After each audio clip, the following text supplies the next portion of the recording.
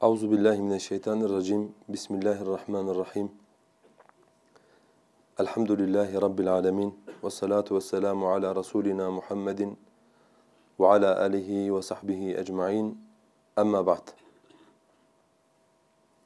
Kardeşlerim Kehf suresini tefsir etmeye devam ediyoruz. Allah azze ve celle'nin izniyle. Ashab-ı Kehf'in kıssasını anlatıyoruz. Surenin de ismini aldığı. Ee, geçen dersimizde Ashab-ı Kehf'in uyanışına kadar olan kısmı anlatmıştık. Bu dersimizde ise Allah Azze ve Celle izin verirse Ashab-ı Kehf'in uyandığı andan başlayacağız.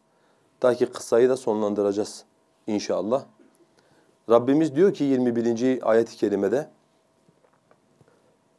وَكَذَٰلِكَ اَعْثَرْنَا عَلَيْهِمْ İşte böylece biz onların yerini buldurduk. Yani insanlara onların yerini biz buldurduk diyor Allah Azze ve Celle. Niçin Allah onların yerini buldurmuş? لِيَعْلَمُوا Bilsinler diye. اِنَّ وَعَدَ اللّٰهِ حَقٌّ Şüphesiz ki Allah'ın vaadi haktır. وَاَنَّ السَّاعَةَ Ve kıyamet günü la raybe fiha. Onda hiçbir şüphe yoktur. İz yetenazaun beynehum emrahum. Hani onlar kendi aralarında o gençlerin durumunu tartışıyorlardı. Fekalu dediler ki ubnu aleyhim bunyane. Onların üzerine bir bina inşa edin. Onların üzerini kapatın. Rabbuhum alemu bihim. Onların halini en iyi bilecek olan Allah'tır. Kâlellezîne galebu ala emrihim. Sözlerini geçiren, işlerinde galip olan, nüfuz ve saltanat sahibi olanlar dediler ki: "Lenettehizen aleyhim mescide." Muhakkak ki biz onların üzerine bir mescit inşa edeceğiz. Bu gençlerin üzerine bir mescit inşa edeceğiz. 21. ayet-i kerimede kardeşlerim Allah azze ve celle bize şunu anlatıyor. Bu gençler uyandıkları zaman toplum arasında bir tartışma var. Tartışma da şu. Kıyamet kopacak mı? Eğer kopacaksa kıyamet nasıl dirileceğiz? Yani sadece cesetlerimiz mi dirilecek? Yoksa cesetlerimizle beraber ruhlarımız da mı dirilecek? Nasıl olacak? İnsanlar kendi aralarında bu meseleyi tartışıyorlar. Allah Azze ve Celle bu gençleri biz uyandırdık ki diyor insanlar şunu anlasınlar. Bizim vaadimiz haktır. Yani ben sizi dirilteceğim diyorsam eğer ben sizi dirilteceğim. Benim vaadim kesindir ve haktır. Ve kıyamet gününe dair hiçbir şüphe söz konusu değildir. İnsanlar bunu anlasınlar diye diyor Allah. Biz bu gençleri uyandırdık, biz bu gençleri ayaklandırdık. Demek ki bu kıssanın yaşanmasındaki hikmetlerden bir tanesi de iman ettikten sonra ahiret hakkında tartışan Müslümanlara yol göstermek için Allah Azze ve Celle asırlardır uyuttuğu bir grup insanı diriltmiş ve onlara şunu öğretmiş. Ben insanları işte böyle dirilteceğim. Yani hem cesetle dirileceksiniz hem de ruhlarınız dirilecek. Nasıl öldüyseniz o şekilde Allah'ın huzuruna tekrardan ayağa kalkacaksınız. Bu aslında her asırda Allah'ın hüccetleri bitmez kardeşlerim. Yani Allah sadece peygamberler gönderip kitaplar indirmekle insanlara son hüccetini ikame etmez. Bilakis insanlara olan merhametinden ötürü Allah Azze ve Celle ihtiyaç duyulan yerlerde insanlara hakkı ve hakikati hatırlatsın diye bir takım ayetler gönderir ama insanlar gafildirler. Bunların farkında değillerdir. Yani mesela düşünün bu Ashab-ı Kehf'in kıssasına benzer olaylar yaşamıyor muyuz? Biz de yaşıyoruz. Adam bitkisel hayata girmiş. Bunun uyanması mümkün değildir demişler. Aradan 30 yıl geçmiş. Hiçbir şey olmamış gibi adam yerinden yatağından kalkmış. Tekrar hayatına devam etmiş. Doktorlar demişler ki bunun fişini çekebilirsiniz. Artık bu adamın yaşaması veya bu bayanın yaşaması mümkün değildir. Çünkü bu ölü hükmündedir demişler. Anne ve babasının gönlü razı olmadığı için hayır demişler. Bu burada kalsın. Biz buna bakacağız. 10 sene 12 sene geçmiş aradan Malezya'da genç bir kız çocuğu ayaklanmış. Daha önceki hayatından daha sağlıklı bir şekilde hayatına devam etmiş. Allah Azze ve Celle bu tip olayları niye yaşattırıyor kardeşlerim? İnsanlara bir hakikati gösteriyor Allah. Biz sizi uzun süre uyutup tıp bu adam ölmüştür, bunun hayatı bitmiştir dedikten sonra nasıl ruh üflediğimiz zaman tekrardan sizi ayaklandırabiliyorsak eğer siz yerin dibine çürüdükten sonra günün biri geldiğinde Allah azze ve celle tekrar size ruh üfürüp tekrardan sizi yattığınız yerlerden geri ayağa kaldırabilir. Allah bize bunu gösteriyor. Bu çağda Allah insanlara bunu gösterdiği gibi o dönemde de Allah insanlara uzun müddet işte üç asıra yakın bir süre uyumuş olan insanları tekrardan kabirlerinden ayağa kaldırdı. Şimdi bu gençler uyanınca kardeşlerim, yani insanlar da bunların durumunu fark edince, özellikle İsrail oğulların anlattıklarından bildiğimiz kadarıyla, yani bunlar artık insanlar, ha bunlar demek ki o üç asır önce kaybolan gençlerdi. Bizim eskiden putperest atalarımızdan kaçmışlardı. Allah demek ki bunları korumuş, muhafaza etmiş. Bunun farkına varınca Allah diyor ki iz yetenazaun beynehum emrahum. Aralarında bunların durumunu tartıştılar. Şimdi ne yapacağız biz dediler. Yani böyle bir tabiri caizse mucize yaşanıyor. Gözle görülür bir mucize. Biz bunun üzerine ne yapacağız? Bir grup insan dedi ki, iki grup insan zikrediyor Allah. Bir grup insan dedi ki yapacak hiçbir şey yok. Üzerlerine toprak kapatın. Üzerlerini kapatın. Rableri onların halini en iyi bilir dediler. Yani hiçbir şey yapmanıza gerek yok dediler. Bir grup insan bunlar ise güç sahibi, nüfus sahibi, toplumu yöneten insanlar hayır dediler. Biz buraya bir mescit yapacağız. Yani bunların kabirlerini yapacağız. Kabirlerinin üzerine de bir mescit inşa edeceğiz. Burayı bir türbe, burayı bir tapınak haline getireceğiz dediler. Şimdi Allah Azze ve Celle kardeşlerim bu ayet-i kerimede hangi taraf doğru söyledi, hangi taraf yanlış söyledi Allah buna dair bize hiçbir bilgi vermiyor. Yani biz bilmiyoruz hangisi doğru, hangisi yanlış. Yani acaba üstünü kapatın, görmemezlikten gelin diyenler mi haklıydı? Yoksa devleti yöneten güç ve nüfus sahibi olup da hayır buraya bir mescit inşa edeceğiz, burayı türbe haline getireceğiz diyenler mi haklıydı? Biz bunu bilmiyoruz. Haliyle bu ayeti tefsir ederken tefsircilerin beyan etmiş oldukları bütün görüşler bu ayetten yola çıkarak bu kesin görüşler değildir. Yani öyle de olabilir, olmayabilir. Nereye bakacağız peki biz kardeşlerim? Peygamber sallallahu aleyhi ve sellemin açıklamalarına bakacağız. Niye? Çünkü Allah peygambere ne dedi Nahl suresinde? وَاَنْزَلْنَا اِلَيْكَ الذِّكْرَ لِتُبَيِّنَ لِلنَّاسِ مَا نُزِّلَ اِلَيْهِمْ Biz sana bu Kur'an'ı indirdik ki sen insanlara onlara indirileni açıklayasın diye. Peygamberin vazifesi indirilmiş Kur'an ayetlerini bize açıklamaktır. Şimdi Peygamber sallallahu aleyhi ve selleme soralım. Ey Allah'ın Resulü diyelim aleyhissalatu vesselam. Bu iki gruptan hangisi haklı? Biz bu iki gruptan hangisinin yolunu takip edelim? Bakın şimdi Peygamber sallallahu aleyhi ve sellem ne diyecek? İmam Bukhari ile Müslüm Ayşe annemizden naklediyorlar. Ayşe annemiz diyor ki Habeşistan hicretinden dönen Ümmü Habibe ve Ümmü Seleme annelerimiz, peygamberimizin eşleri peygamberimize bir kiliseden bahsettiler. İçinde böyle resimlerin olduğu, çok dikkatlerini çeken, çok hoşlarına giden alımlı bir kiliseden bahsettiler. Peygamber sallallahu aleyhi ve sellem ne dedi biliyor musunuz kardeşler? İnne ulaike iza mata fihimur raculus salih benev ala kabrihi mesciden ve savvaru fihi tilke tasavir ulaike şirarul halqi indallahi yevmel kıyame. Bunlar bir adam öldüğü zaman salih bir adam onun kabrinin üzerine mescit inşa ederlerdi.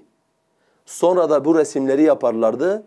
Onlar kıyamet gününde Allah'ın katındaki en şerli insanlardır dedi sallallahu aleyhi ve sellem. Yani bir yerde kabir varsa orayı mescit ve tapınak haline getiren insanlara Peygamberimiz Allah katındaki en şerli insanlar diyor. Başka bir rivayette, hadiste, bu da Bukhari ile Müslüm'ün yine Ayşe annemizden naklettiği bir hadistir. Ayşe annemiz diyor ki, Allah Resulü ölüm deşeğindeyken yani en son hastalığında şöyle dedi. لَعَنَ اللّٰهُ الْيَهُودَ وَالنَّصَارَى اِتَّخَذُوا قُبُورَ اَنْبِيَائِهِمُ الْمَسَاجِدِ Allah Yahudi ve Hristiyanlara lanet etsin. Onlar peygamberlerinin kabirlerini mescit edindiler dedi. Sonra ne dedi biliyor musunuz Ayşe annemiz radıyallahu anha? لَوْلَا ذَاكَ لَاُبْرِزَ قَبْرُهُ Eğer peygamberimizin bu sözü olmasaydı peygamberin kabri de açığa çıkarılırdı. Sahabe niye peygamberin kabrinin üzerine türbe yapmadılar? Niye peygamberin kabrini yerden bir karış yüksek bir toprak olarak terk ettiler? Ta ki Yahudi ve Hristiyanlar peygamberlerinin kabirlerini mescit edindikleri ve orada Allah'ın dışında varlıklara taptıkları gibi bu ümmet de Allah'a şirk koşmasın diye sahabe bunu terk etti bir kenara koydu. Peygamber sallallahu aleyhi ve sellem kardeşlerim özellikle yaşarken kendi kabrine yönelik ümmetini sürekli bir şekilde uyarırdı. Niçin? Çünkü en değerli insan bu ümmette Peygamber sallallahu aleyhi ve sellem'dir. Eğer insanlar birinin kabriyle fitneye düşüp Allah'a şirk koşacaksa şüphesiz ki bu Allah Resulü olacaktır. Allah Resulü İmam Malik'in Muvatta'da rivayet ettiği bir hadiste şöyle dua ederdi. Allahümme la tec'al kabri vethenen yu'bed.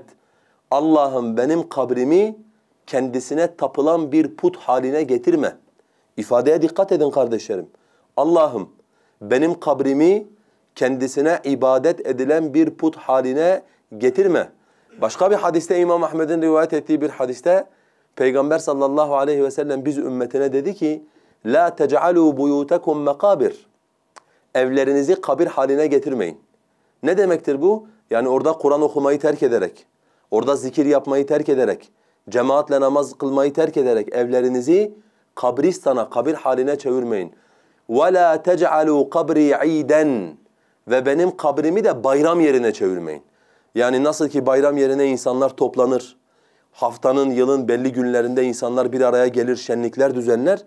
Sakın benim kabrimi de bu şekilde ziyaret edilen bir bayramgaha, bir bayram haline getirmeyin dedi sallallahu aleyhi ve sellem.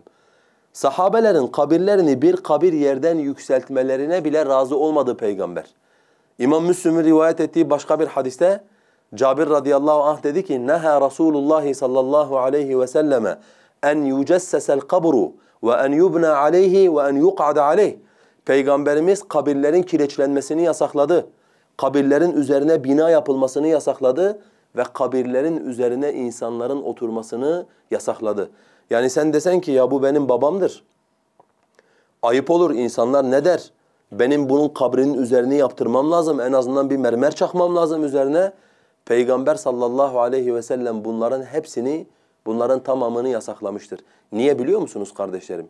Çünkü bu ayette mescit edinelim diyen adamlar putperest adamlardır. Kabirleri tazim etmek, kabirleri tapınak yeri haline getirmek, kabirlerin üzerine kandil asmak, kabirlerin başına bekşi koymak, kabirlerin üzerine bina yapıp yeşil ve renkli örtülerle kabirlerin üzerini kapatmak, Peygamberimiz geldiğinde zaten müşriklerin arasında yaygın olan bir ahlak idi. Peygamber sallallahu aleyhi ve sellem yeryüzüne tevhidi yayabilmek için kabirleri de yeryüzünden kaldırmak için bir mücadele içerisine girdi. Bakın İmam Müslim'in rivayet ettiği bir hadiste Ali radıyallahu anh kendi döneminde Ebul Heyyac adında birine diyor ki Ela eb'athuke ala ma ba'athani bihi Rasulullah Resulullah'ın beni vazifele, vazifelendirip gönderdiği bir işe ben de seni vazifelendirip göndereyim mi ey Ebul Heyyaş dedi. O da tabii ki dedi. Yani kim istemez Allah Resulü'nün verdiği bir görevi yapmayı. Evet ey Ali dedi. Ella ted'a timsalen illa tamestehu ve la kabran muşrifen illa sevveytehu. Git. Hiçbir put görme, mutlaka onu sil. Yani yıkabiliyorsan yık, yıkamıyorsan yüzünü onu put haline getiren yerlerini sil. Yeryüzünden yüksek hiçbir kabir bulma ki onu yerle bir et, onu yerle eşit hale getir dedi Ali radıyallahu an. Yani peygamberimiz sahabeye böyle bir vazife verirdi. Gidin derdi bakın yeryüzünde arayın. Eğer bir kabir görürseniz yerden bir e, karış yüksek olan insanların ibadet haline getirdiği, fitneye düştüğü gidin onu putları yıktığınız gibi gidin onu da yerle bir edin, yerle bir hale getirin. İbn Kesir rahimehullah tarih kitabında El Bidaya ve Nihaye'de tabiinden Ebul Aliye'den bize şunu naklediyor. Ebul Aliye diyor ki biz Tuster şehrini fethettiğimizde orada baktık ki bir kabir var. O kabirin içerisinde Danyal aleyhisselamın olduğu söyleniyordu. Yani peygamberlerden bir peygamber olan Danyal aleyhisselamın kabri olduğu söyleniyordu. Biz diyor sabah 13 ayrı kabir kazdık. Onun bedenini, cesedini oradan çıkardık. O kabirlerden bir tanesine koyduk ve bütün kabirlerin de üzerini kapattık. Niye? Ta ki insanlar hangisinde yattığını bilmesinler ki Allah azze ve celle'ye şirk koşup fitneye düşmesinler diye. Bunu anlatınca Ebu'l Aliye, tabi'in imamlarından, dinleyenlerden biri soruyor. Peki diyor siz onun cesedini çıkardığınızda onun cesedi değişmiş miydi? Hayır diyor. kafasının arkasında bir iki tel hariç onun bedeninde hiçbir yer değişmemişti diyor. Yüz yıllar önce vefat etmiş bir insanın kabri.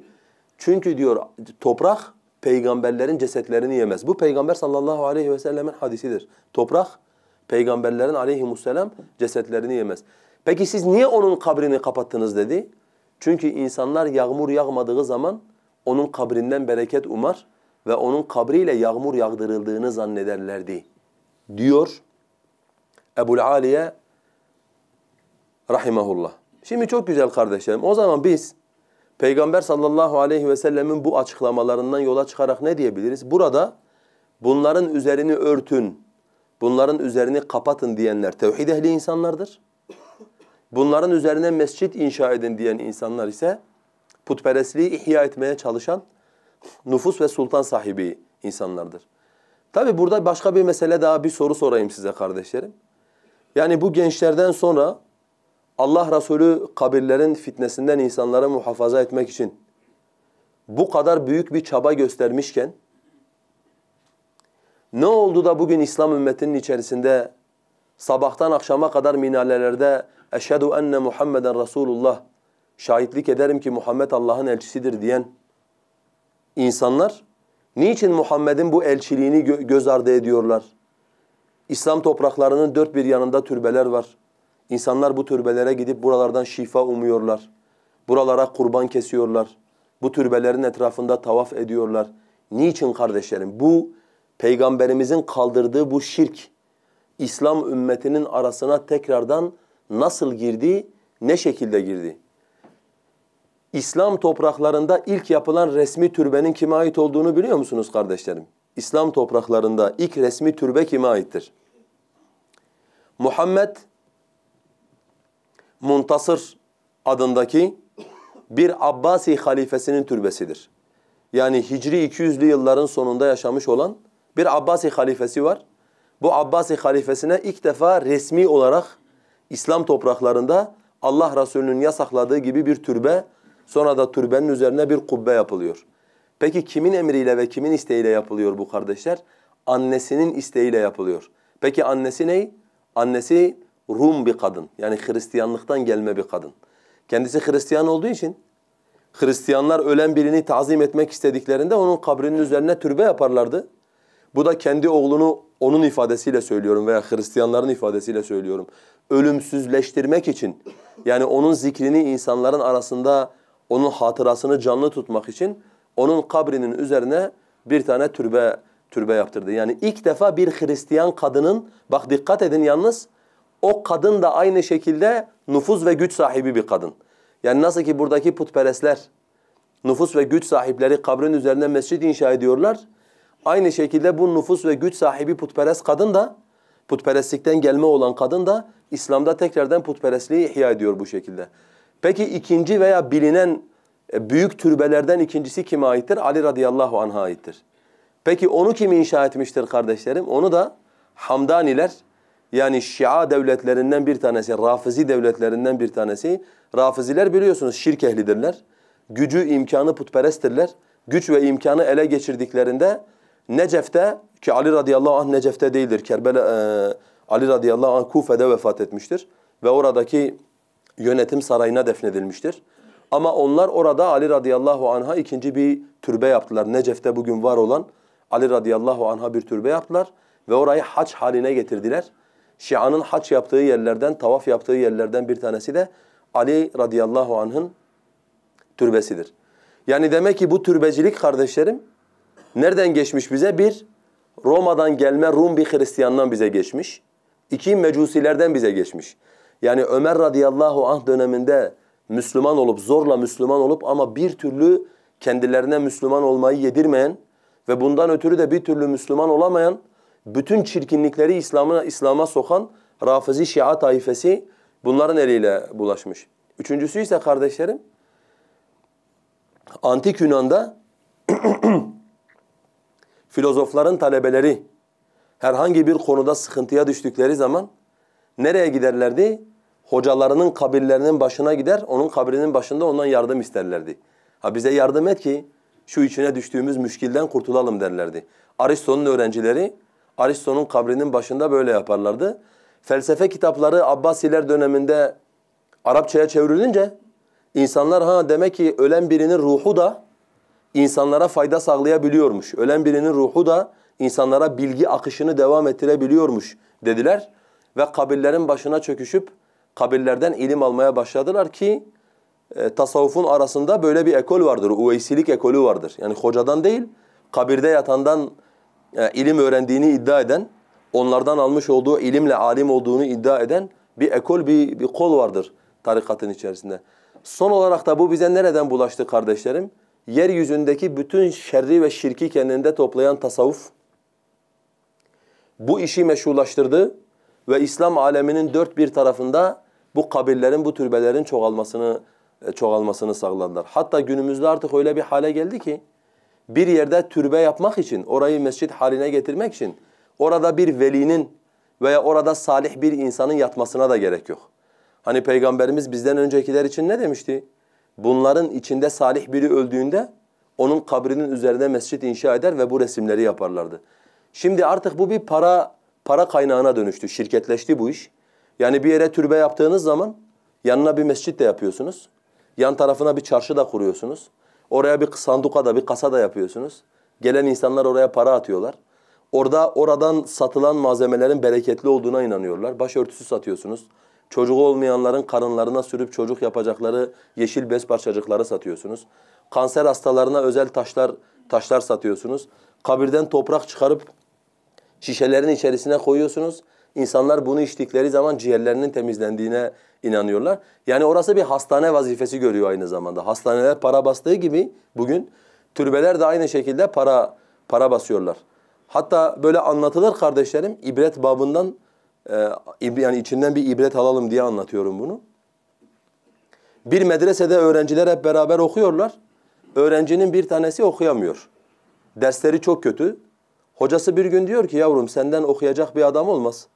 Sen en iyisi diyor git evine, git ananın babanın işlerini gör. Çocuk da diyor ki gitme yolda giderken bana bir tane binek verin. Benim bir bineğim yok onunla şeye gideyim, evime gideyim. Tabi ona bir merkep veriyorlar. Hasta bir eşek veriyorlar. Bu merkeple yolda giderken yolun ortasında bir yerde merkep ölüyor. Şimdi merkep ölünce tabi bu çocuk da yani yolunu yolu bitiremeyecek çünkü merkep öldü. Oturup merkeğin merkebin başına ağlıyor. Ben şimdi ne yapacağım? Nasıl evime varacağım diye. Birkaç kişi de bunu görüyor diyorlar. Herhalde ölen kişi çok büyük bir zat olması lazım ki bu böyle salya sümük ağladığına göre. Demek ki ölen zat çok önemli, çok büyük bir zattır diyorlar. Bunun etrafına geliyorlar. Onlar da bununla beraber ağlamaya başlıyorlar. Bizimki meselenin farkına varınca evet diyor çok büyük bir zat burada vefat etti. Ben onu buraya gömdüm. Çok değerli biriydi. Allah dostuydu. E üzerine bir türbe yapalım diyorlar. Madem önemli bir Allah dostuydu. İnsanlar onun hayrından, bereketinden mahrum olmasın. Neyse bunun üzerine bir türbe yapıyorlar. Tabi gel zaman git zaman bu türbe aynı şimdi bizim Türkiye'deki bazı şehirlerde olduğu gibi bir şirk merkezi haline geliyor. Akın akın insanlar Kabe'ye gittikleri gibi insanlar oraya sefer düzenlemeye başlıyorlar. Yıllar sonra bunun okuma arkadaşları e, bir yerden bir yere giderken bu bir geliyorlar bakıyorlar çok büyük bir türbe var. İşte büyük bir tarikat var. Soruyorlar buradaki büyük zat nerede? Hani bu büyük şeyhi bir görelim. Gidiyorlar bakıyorlar ki o büyük şeyh dedikleri adam medreseyi okuyamadığı için medreseden kovulan e, o kafası çok çalışmayan öğrenci. Gidip diyorlar ya hayırdır? Yani sen nasıl böyle büyük bir zat haline geldin? O da diyor hiç sormayın. Hal mesele böyle. O merkebin kıssasını anlatıyor. Kıssayı anlatınca bir tanesi kulağına eğiliyor diyor ki çaktırma babası da bizim orada yatıyor. Yani sana verdiğimiz bu merkebin bir de babası var. O da bizim oradayken vefat etmişti. Bir türbeyi de bu bir türbe de onun üzerine bir türbe de onun üzerine yapmıştık diyor. Ve kardeşlerim asıl burada bizim dikkatimizi çeken mesele nedir? Asıl dikkatimizi çeken mesele budur. Niçin nüfuz ve saltanat sahibi olan insanlar her çağda bu türbeciliğin yayılması için bu kadar çaba sarf ediyorlar? Yani Ashab-ı Kehf'in döneminde de saltanat ve nüfus sahipleri türbeciliği, kabirperestliği yayıyorlar. Günümüzde de öyledir. İslam'a her yönden savaş açmış olan ülkelere bakın. Ama bu insanlar kabirperestlere destek veriyorlar. Kabirperestlerin yeryüzünde yayılması için ellerinden gelen her şeyi yapıyorlar. Mesela bir misal söyleyeyim. Hani Konya'da olduğumuz için Konya üzerinden misal misal vereyim. Yani Batı dünyasını düşünün kardeşlerim. Batı dünyası son 100 yıldır İslam alemine karşı yeni bir Haçlı Seferi başlatmıştır. Ve şu son 30 yıldır, 20 yıldır da açık açık İslam'la savaştıklarını açık açık söylüyorlar. Lakin aynı Batı yıllardan bir yılı Mevlana yılı ilan ediyor. Avrupa'nın farklı yerlerinden otobüs kaldırıyor, uçak kaldırıyor. Kendi vatandaşlarını Mevlana'nın kabrini ziyaret etsinler diye Konya'ya getiriyor. Burayı dünya miras kültürünün bir parçası kabul ediyor. Korunması gerektiğine dair özel bir çaba çaba sarf ediyor. Etrafını Türkiye'ye zorla restore restore ettiriyor. Niye? Çünkü burası sadece size ait değildir diyorlar. Burası dünyanın dünya kültürünün bir parçasıdır. Dünya kültürünün bir mirasıdır. Buna dünya adına sahip çıkacaksınız diyorlar. Peki soru. Yani bu adamlar İslam aleminin her karışına bomba yağdırıp her karışını necis postallarıyla çiğnerken niçin bu adamlar geçmişteki putperest yönetim sahipleri gibi neden dolayı bu adamlar kabirperestliğin yayılması için bu kadar özel çaba sarf ediyorlar? Çünkü kardeşlerim kabirperestlik sadece kabir yapıp o kabirlere ibadet etmek değildir. Kabirperestliğin, tasavvufun bir de bir alt zihniyeti vardır, alt düşüncesi vardır. Nedir o? Hayattan elini eteğini çekeceksin, laikleşeceksin, dinle devlet birbirinden ayrıdır diyeceksin. Ben tekkemde hu çekerim, ben tekkemde tesbih çekerim. Devleti yönetenler devleti nasıl yönetiyorlarsa yönetsinler diyeceksin. Ya da diyeceksin ki ben şeytana Allah'a şeytandan sığındığım gibi siyasetten de aynı şekilde Allah'a sığınırım diyeceksin. Yönetimi yönetimi ele geçirmiş olan nüfuz ve saltanat sahiplerine terk edeceksin. Nüfuz ve saltanat sahipleri tasavvuf ehlindeki bu bozukluğu, bu sapkınlığı gördükleri için kardeşlerim onların yeryüzünde yayılmasını istiyorlar. Çünkü tasavvuf ehli niye dağlara çekilir? Tasavvuf ehli niye tekkelere kapanır? Tasavvuf ehli niye hayattan ellerini eteklerini çeker? Çekerler. Sebep? Çünkü tasavvuf ehli şöyle inanır. Derler ki biz kendimizi terbiye etmek için, kendimizi ıslah etmek için fıskı, fucuru, toplumu terk etmemiz lazım. Onlardan uzaklaşmamız lazım. Dünyayı, işi, ticareti, şirketleri e, kafirlere bırakmamız lazım. Yönetimi, siyaseti bunları da onlara bırakmamız lazım. Bizim tekelerde oturup başımızı önümüze eğip elimize bir tane de tesbih alıp hu hu hu hu hu diye artık biri Allah'ı mı zikrediyor belli olmayacak bir şekilde ki hu diye bir zikir yoktur. Çünkü Allah'ın hu diye bir ismi yoktur. Allah'ın bütün güzel isimleri ve yüce sıfatları Kur'an-ı Kerim'de mevcuttur. Otururlar bir yere Budist rahiplerin yoga yaparken yaptıkları gibi bir kelimeyi sabit bir şekilde söyleyip söyleyip söyleyip transa geçerler. Ve en önemli mesele nedir biliyor musunuz kardeşler? Onlara hangi kötülüğü hatırlatırsanız hatırlatın derler ki Allah istemeseydi olmazdı. Yani demek ki Allah bu yöneticileri bizim başımıza seçti ki bu yöneticilerden razı oldu ki Allah bunları bizim başımıza getirdi. Bize ne düşer? Allah'ın iradesine teslim olmak düşer. Bakın kardeşlerim Moğollar İslam alemini işgal ettikleri zaman Moğollar tarihçilerin birçoğu diyor ki keşke anam beni doğursaydı da ben o Moğolların yaptığı kötülükleri görmeseydim. Ya da diyor ki bir tanesi vallahi eğer yazıp insanlara bu zamanı bildirme vazifesi benim omuzlarımda olmasaydı ben bu yaşananları yazacak şeyi kendimde bulamıyorum, vicdanı kendimde bulamıyorum. Moğollar bir yere girdikleri zaman kardeşlerim yani İbnül Esir'in anlattığı kadarıyla Azerbaycan'a girdikleri zaman hamile kadınların karınlarına bıçak batırıp hamile kadınların karnındaki çocukları dahi bu şekilde çıkarmışlar. Yani insanları değil insanların karında, karınlarındaki çocuklara dahi hayat hakkı tanımamışlar. Moğollar buraları istila etmeye doğru geldiklerinde bu civarları sizin buranın putlarından olan Celaleddin Rumi'ye sormuşlar. Fihi ma fihi ma fihi kitabında yani kendi kitabından aktarıyorum. Demişler ki efendim bu Moğollar nasıl böyle güçlendiler? Nasıl böyle güçlü hale geldiler? Şimdi Celaleddin Rumi efendinin şeyine bakın, açıklamasına bakın. Diyor ki bunlar çok zor durumdaydılar. Harzemşah bunları öldürdü, bunları sürdü, bunlardan zorla vergi aldı, tacirlerini kendi memleketine sokmadı. Bunlar perişan hale geldiler. Krallarının yanına gittiler dediler ki kralım biz öldük. Bize yardım et. Ne olacak bizim halimiz dediler. Kral da dedi ki bana on gün müddet verin. Kral dediği de Cengiz Han'dan bahsediyor. Yeryüzünün gelmiş geçmiş en zalim insanından, despot insanından bahsediyor. Bir mağaraya gitti diyor. 10 gün boyunca orada oruç tuttu. Bak şimdi bu da Cengiz Han'ı şey etmek hani oruç tutan anlı secdeli bir adam gibi göstermek için bunları söylüyor. Allah'a yalvardı, yakardı. En sonunda Allah ona dedi ki ben senin sözünü işittim. Şimdi buradan çık. Artık siz yeryüzünde güçlü olacaksınız dedi.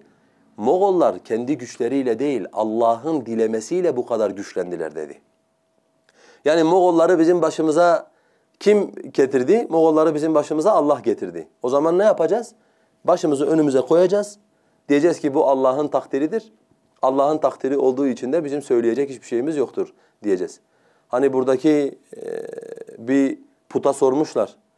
Demişler ki hocam yani başımızdaki insanlar Allah'ın şeriatıyla hükmetmiyorlar. Müslümanların buna yönelik bir şey yapması gerekmez mi? Bir adım atması gerekmez mi?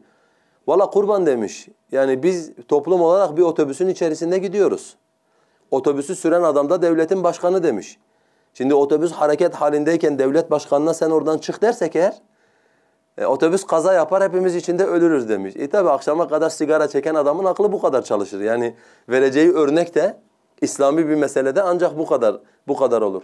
Ariflerin Menkıbeleri kitabında Mevlana'nın torunlarından biriyle ilgili şu anlatılıyor kardeşlerim. Çelebi adında e, bir vatandaş gelip buna işte o dönemdeki bu bölgeyi elinde bulunduran, Konya'yı elinde bulunduran Karamanlılar buna diyorlar ki efendim yani biz sizin dindaşınızız. Bizi burada istemiyorsunuz ama Moğolları burada istiyorsunuz. Biz size komşuyuz, sizi seviyoruz. Bizi istemiyorsunuz, Moğolları istiyorsunuz. Cevap ne biliyor musunuz kardeşlerim? Biz dervişiz diyor Çelebi Efendi. Bizim nazarımız Allah'ın iradesine bağlıdır. Allah şu an sizi istemiyor.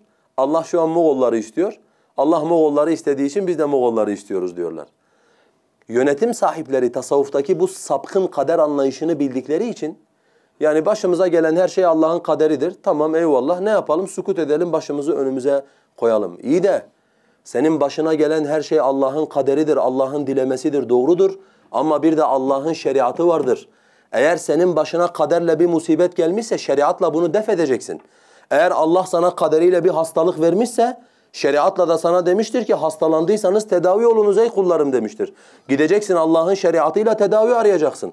Eğer Allah senin rızkını daratmışsa kaderiyle Allah sana şeriatıyla demiştir ki hiç kimse kendi eliyle kazandığından daha temiz bir şey yememiştir. Çalışın ey kullarım demiştir. Gideceksin çalışacaksın rızkını genişletmek için uğraşacaksın. Allah yeryüzüne kaderiyle şirk ehlinin galip gelmesini istemişse şeriatıyla sana şirki, şirk ehlinin batıllığını insanlara anlatıp yeryüzünde Allah'ın razı olacağı bir güzelliği inşa etmeni Allah sana şeriatıyla emretmiştir. Kader vardır, doğrudur ama kaderle beraber şeriat da vardır. Ve kaderle şeriat asla birbirinden ayrılmaz. Kaderle şeriat asla birbirinden ayrılmaz. Kaderle başına bir şey gelir onu şeriatla def edersin. Allah kaderle senin başına getirdiğini ona razı ol, başını önüne ey bu benim Rabbimin dilediğidir de dememiştir Allah Azze ve Celle. Tasavvuf ehli şeriattan kopup hakikat diye bir zırva uydurdukları için kardeşlerim zamanla şeriattan uzaklaşa uzaklaşa uzaklaşa uydurdukları hakikat de onları kurtarmayınca bunlar kadere yapışmışlardır. Ve başlarına gelen her şeyin Allah'ın kaderi olduğunu söylemişlerdir. E şimdi siz şöyle bir düşünün Allah muhafaza kendinizi yöneticilerin yerine koyun. Yani siz yönetici olsanız size bunlardan daha iyi uşaklık edecek, size bunlardan daha iyi sizi meşrulaştıracak, size karşı sizin batılınızı anlatan insanlara karşı bir de Allah'ın kaderiyle insanları aldatıp insanları susturacak bunlardan daha iyi gönüllü asker bulabilir misiniz? Bulamazsınız. Onun için her çağ ve her zamanda putperest insanlar kardeşlerim tasavvufun, türbeciliğin, tarikatçılığın yeryüzünde yayılması için ellerinden geleni yapıyorlar ve bugün artık tasavvuf e, özellikle küfür sistemleri tarafından bir şey gibi kabul ediliyor. Böyle bütün dünyanın, bütün dünya kültürüne ait bir şeymiş gibi kabul ediliyor, korunuyor, kullanıyor, yayılması için özel çaba özel çaba sarf ediliyor. Bu sebepten ötürü burada bulunan yönetim sahipleri de dediler ki biz bunların üzerine bir mescit inşa edelim. Dediler diyelim inşallah. Devam ediyor Rabbimiz. Seyekulûne thelâsetun diyecekler ki diyor Allah. Yani sonradan gelenler, sonradan yaşayacak olanlar diyecekler ki thelâsetun onlar üç kişiydiler. Rabi'uhum kelbuhum. Dördüncüleri onların köpekleriydi. Ve yekulûne hamsetun ve yine diyecekler ki onlar beş kişiydiler. Sadisuhum kelbuhum. Onların altıncıları onların köpekleriydi diyecekler. Racmen bil gaybi gaybı taşlayarak bunu söyleyecekler. Gaybı taşlamak demek kişinin bilgisizce konuşması demek. Hani biz karanlığa taş atmak deriz. Hedefsiz bir şekilde konuşmak. Racmen bil gayb. Gaybı taşlayarak bunu söyleyecekler. Ve yekulûne seb'atun. Onlar yedi kişidirler diyecekler. Thaminuhum kelbuhum. Onların sekizincisi onların köpekleridir diyecekler. Kul de ki Rabbi a'lemu bi'iddetihim. Onların sayısını en iyi benim Rabbim bilir. Ma ya'lemuhum illa qalil. O gençlerin sayısını insanların azı müstesna, azı hariç kimse bilmez. فَلَا تُمَارِ ف۪يهِمْ Onlar hakkında tartışma. İlla miraen zahira. Eğer tartışacaksan da açık bir tartışma dışında onlar hakkında tartışma. وَلَا تَسْتَفْتِ Soru sorma. Fihim minhum ahada. Onlar hakkında onlardan hiç kimseye, ehli kitaptan hiç kimseye soru sorma diyor Allah azze ve celle. Şimdi kardeşlerim Allah azze ve celle ilerisi için peygamberimize yol gösteriyor. Diyor ki bu gençlerden sonra gelecek olanlar bu gençler hakkında konuşacaklar. Şimdi bunu Allah niye söylüyor kardeşlerim? Bu tartışmayı niye anlatıyor Allah? Şundan ötürü.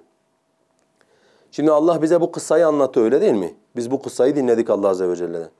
Bunların sayısına dair Allah bize bir şey söyledi mi? Hayır. Bunların isimlerine dair Allah bize bir şey söyledi mi? Hayır. Bunların yaşadıkları memlekete dair Allah bize bir şey söyledi mi? Hayır. Bunların bulundukları bölge bölgeyle ilgili, mağarayla ilgili Allah bize bir şey söyledi mi? Hayır. Demek ki bunların hiçbirinin bize bir faydası yoktur. Eğer bunların bize bir faydası olsaydı Allah azze ve celle bunların kıssasını anlattığı gibi bu saydığım başlıkları da Allah bize bildirirdi. Ama Allah ne yaptı kardeşlerim? Bunlara hiç değinmedi.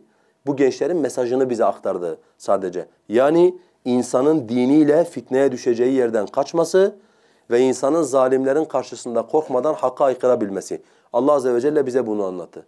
Ama insanlar ne yapıyorlar? Onların asıl mesajını bir kenara koyup nerede faidesiz bir mesele varsa bu gençlerle alakalı insanlar onu tartışmaya çalışıyorlar. Üç kişiydiler, işte dördüncüleri köpekti. Beş kişiydiler, altıncıları, altıncıları köpekti diye bunu tartışıyorlar. Yani Allah bize diyor ki onların halini Kul Rabbi a'lemu bi'iddetihim. Onların halini en iyi bilen Allah'tır. Ma ya'lemuhum illa kalil. Onları az insandan başka hiç kimse de bilmez. Az insan Abdullah İbni Abbas bu ayeti kerimeyi okuduğunda derdi ki ben Allah'ın kendisinden söz ettiği o az insanlardan bir tanesiyim. Ve ben onların sayısını biliyorum derdi. Onlar yedi kişiydiler, sekizincisi de köpekleriydi derdi. Sorulduğu zaman kendisine. Nereden çıkardı peki bunu Abdullah İbni Abbas? Delil. Dedi ki Allah bu ayeti kerimede üç görüş zikretti. Üç kişiydiler, dördüncüleri köpekti. Beş kişiydiler, altıncıları köpekti dedi. Bu ikisini zikrettikten sonra dedi ki racmen bil gaybi. İnsanlar gaybı taşlayarak böyle söylüyorlar dedi. Ama yedi kişiydiler, sekizincileri köpekti dediğinde Allah hiçbir şey söylemedi. Sustu. Demek ki bu görüş doğru bir görüştür ki Allah azze ve celle bu görüşle ilgili hiçbir şeyde bulunmadı, uyarıda bulunmadı. Kendi haline bıraktı bu görüşü. Ben Allah'ın kastettiği o az olan insanlardanım. İbn Abbas diyor radıyallahu an ve onlar yedi kişilerdi. Onların sekizincileri de köpekleriydi.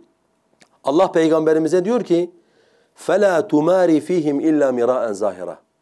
Onlar hakkında açık bir tartışma dışında sakın tartışmaya girme.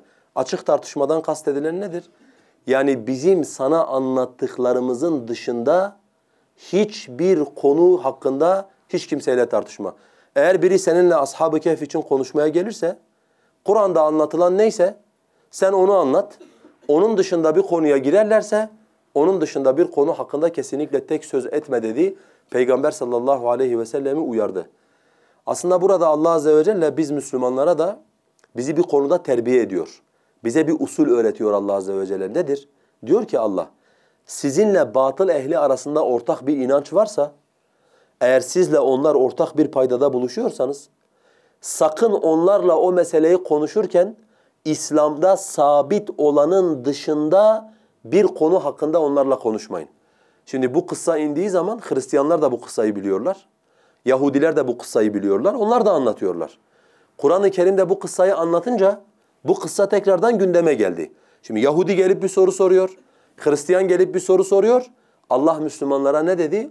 Aranızda ortak olan bir şey varsa sakın benim anlattığımın dışına çıkmayın. Benim anlattığımın içinde kalın. Şimdi kardeşlerim biz de kendisini kitaba nispet eden, kendisini peygambere nispet eden batıl ehli bir toplumun arasında yaşıyoruz. Ve aramızda ciddi anlamda bir ortak payda var. Yani aynı kitabı okuduğumuz için, aynı kaynaklara başvurduğumuz için farklı şekillerde anlasak da aramızda ortak şeyler var. Ve bu ortak şeyler sürekli gündeme geliyor. Yani sürekli konuşuyoruz. Mesela siyer. Bizim de bizim de kabul ettiğimiz bir şeydir. Batıl ehlinin de kabul etmiş olduğu bir şeydir. Bunlarla bir araya geldiğimizde bu konular hakkında konuştuğumuzda sakın ve kesinlikle delilin dışına çıkmıyoruz. Çünkü Allah azze ve celle ne diyor? Bizim size anlattığımız dışında bir şeyle onlarla sakın tartışmayın diyor. Sebep? Çünkü delilsiz bir şekilde yapılacak olan bir konuşma netice getirmez. Sadece insanları boğaz boğaza getirir. İnsanların tartışmasını sağlar. Ama bir sonuç elde etmek, faydalı bir bilgi elde etmek delilsiz bir tartışmada veya tarafların kesin bilgiye sahip olmadığı yerlerde mümkün değildir. Sonra dedi ki Allah azze ve celle sakın onlara bu konu hakkında soru da sorma. Sakın onlara bu konu hakkında soru da sorma. Demek ki kardeşlerim batıl ehline çok fazla soru sormayacağız. Yani mesela aramızda fıkıh ortak olabilir. Ama biz fıkıh konusunda batıl ehline soru sormayacağız. Aramızda tefsir ortak nokta olabilir.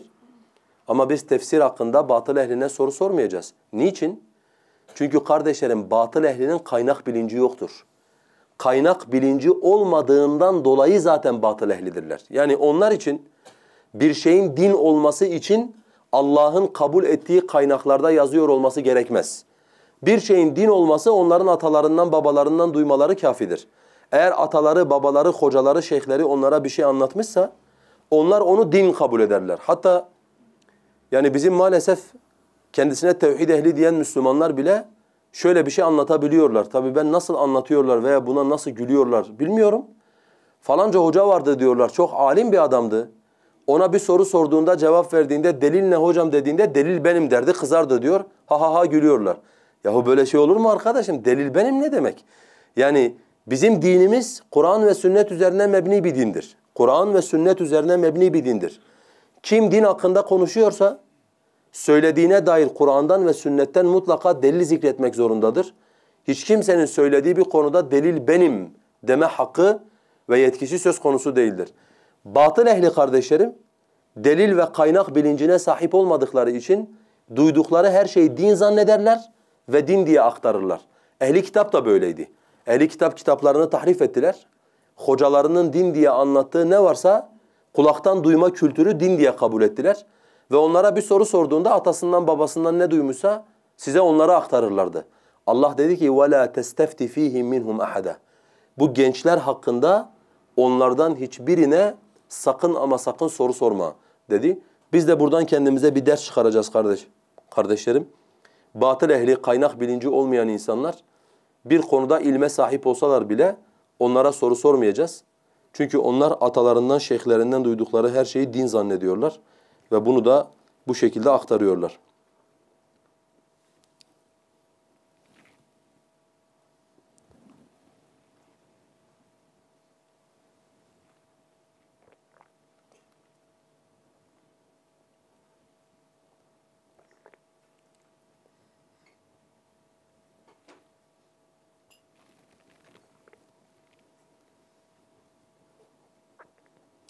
23 ve 24. ayet-i kerimeleri okuyorum. وَلَا تَقُولَنَّ لِشَيْءٍ اِنِّي فَاعِلٌ ذَٰلِكَ غَدًا Hiçbir şey için ben yarın bunu yapacağım deme diyor Peygamberimize. İlla en yeşâ Allah Allah'ın dilemesi müstesna. Yani inşaallah demeden yarın şöyle yapacağım, yarın böyle yapacağım deme diyor. Bir şey yapacaksan inşaallah yarın şöyle yapacağım de. وَذْكُرْ رَبَّكَ اِذَا نَس۪يتْ Unuttuğun zaman Rabbini zikret. Rabbini hatırla. وَقُلْ de ki عَسَى اَنْ يَهْدِيَنِي رَبِّي لِأَقْرَبَ مِنْ هَذَا رَشَدًا Umuyorum ki Rabbim beni bundan daha hayırlı olana muvaffak kılar diye Allah Azze ve Celle'ye dua ediyor Peygamber sallallahu aleyhi ve selleme. Şimdi kardeşlerim bu ayet-i kerimenin bir nuzul sebebi var.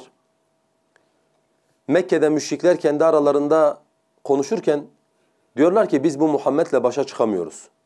Yani biz bunun kimse bunu dinlemez, bu delidir, kahindir diyorduk ama artık bunun daveti dört bir tarafa yayılıyor. Ne yapalım? Ehli kitaptan yardım isteyelim diyorlar. Ve Yahudilere müşriklerden iki tane temsilci gönderiyorlar. Diyorlar ki siz kitap ehli olan insanlarsınız.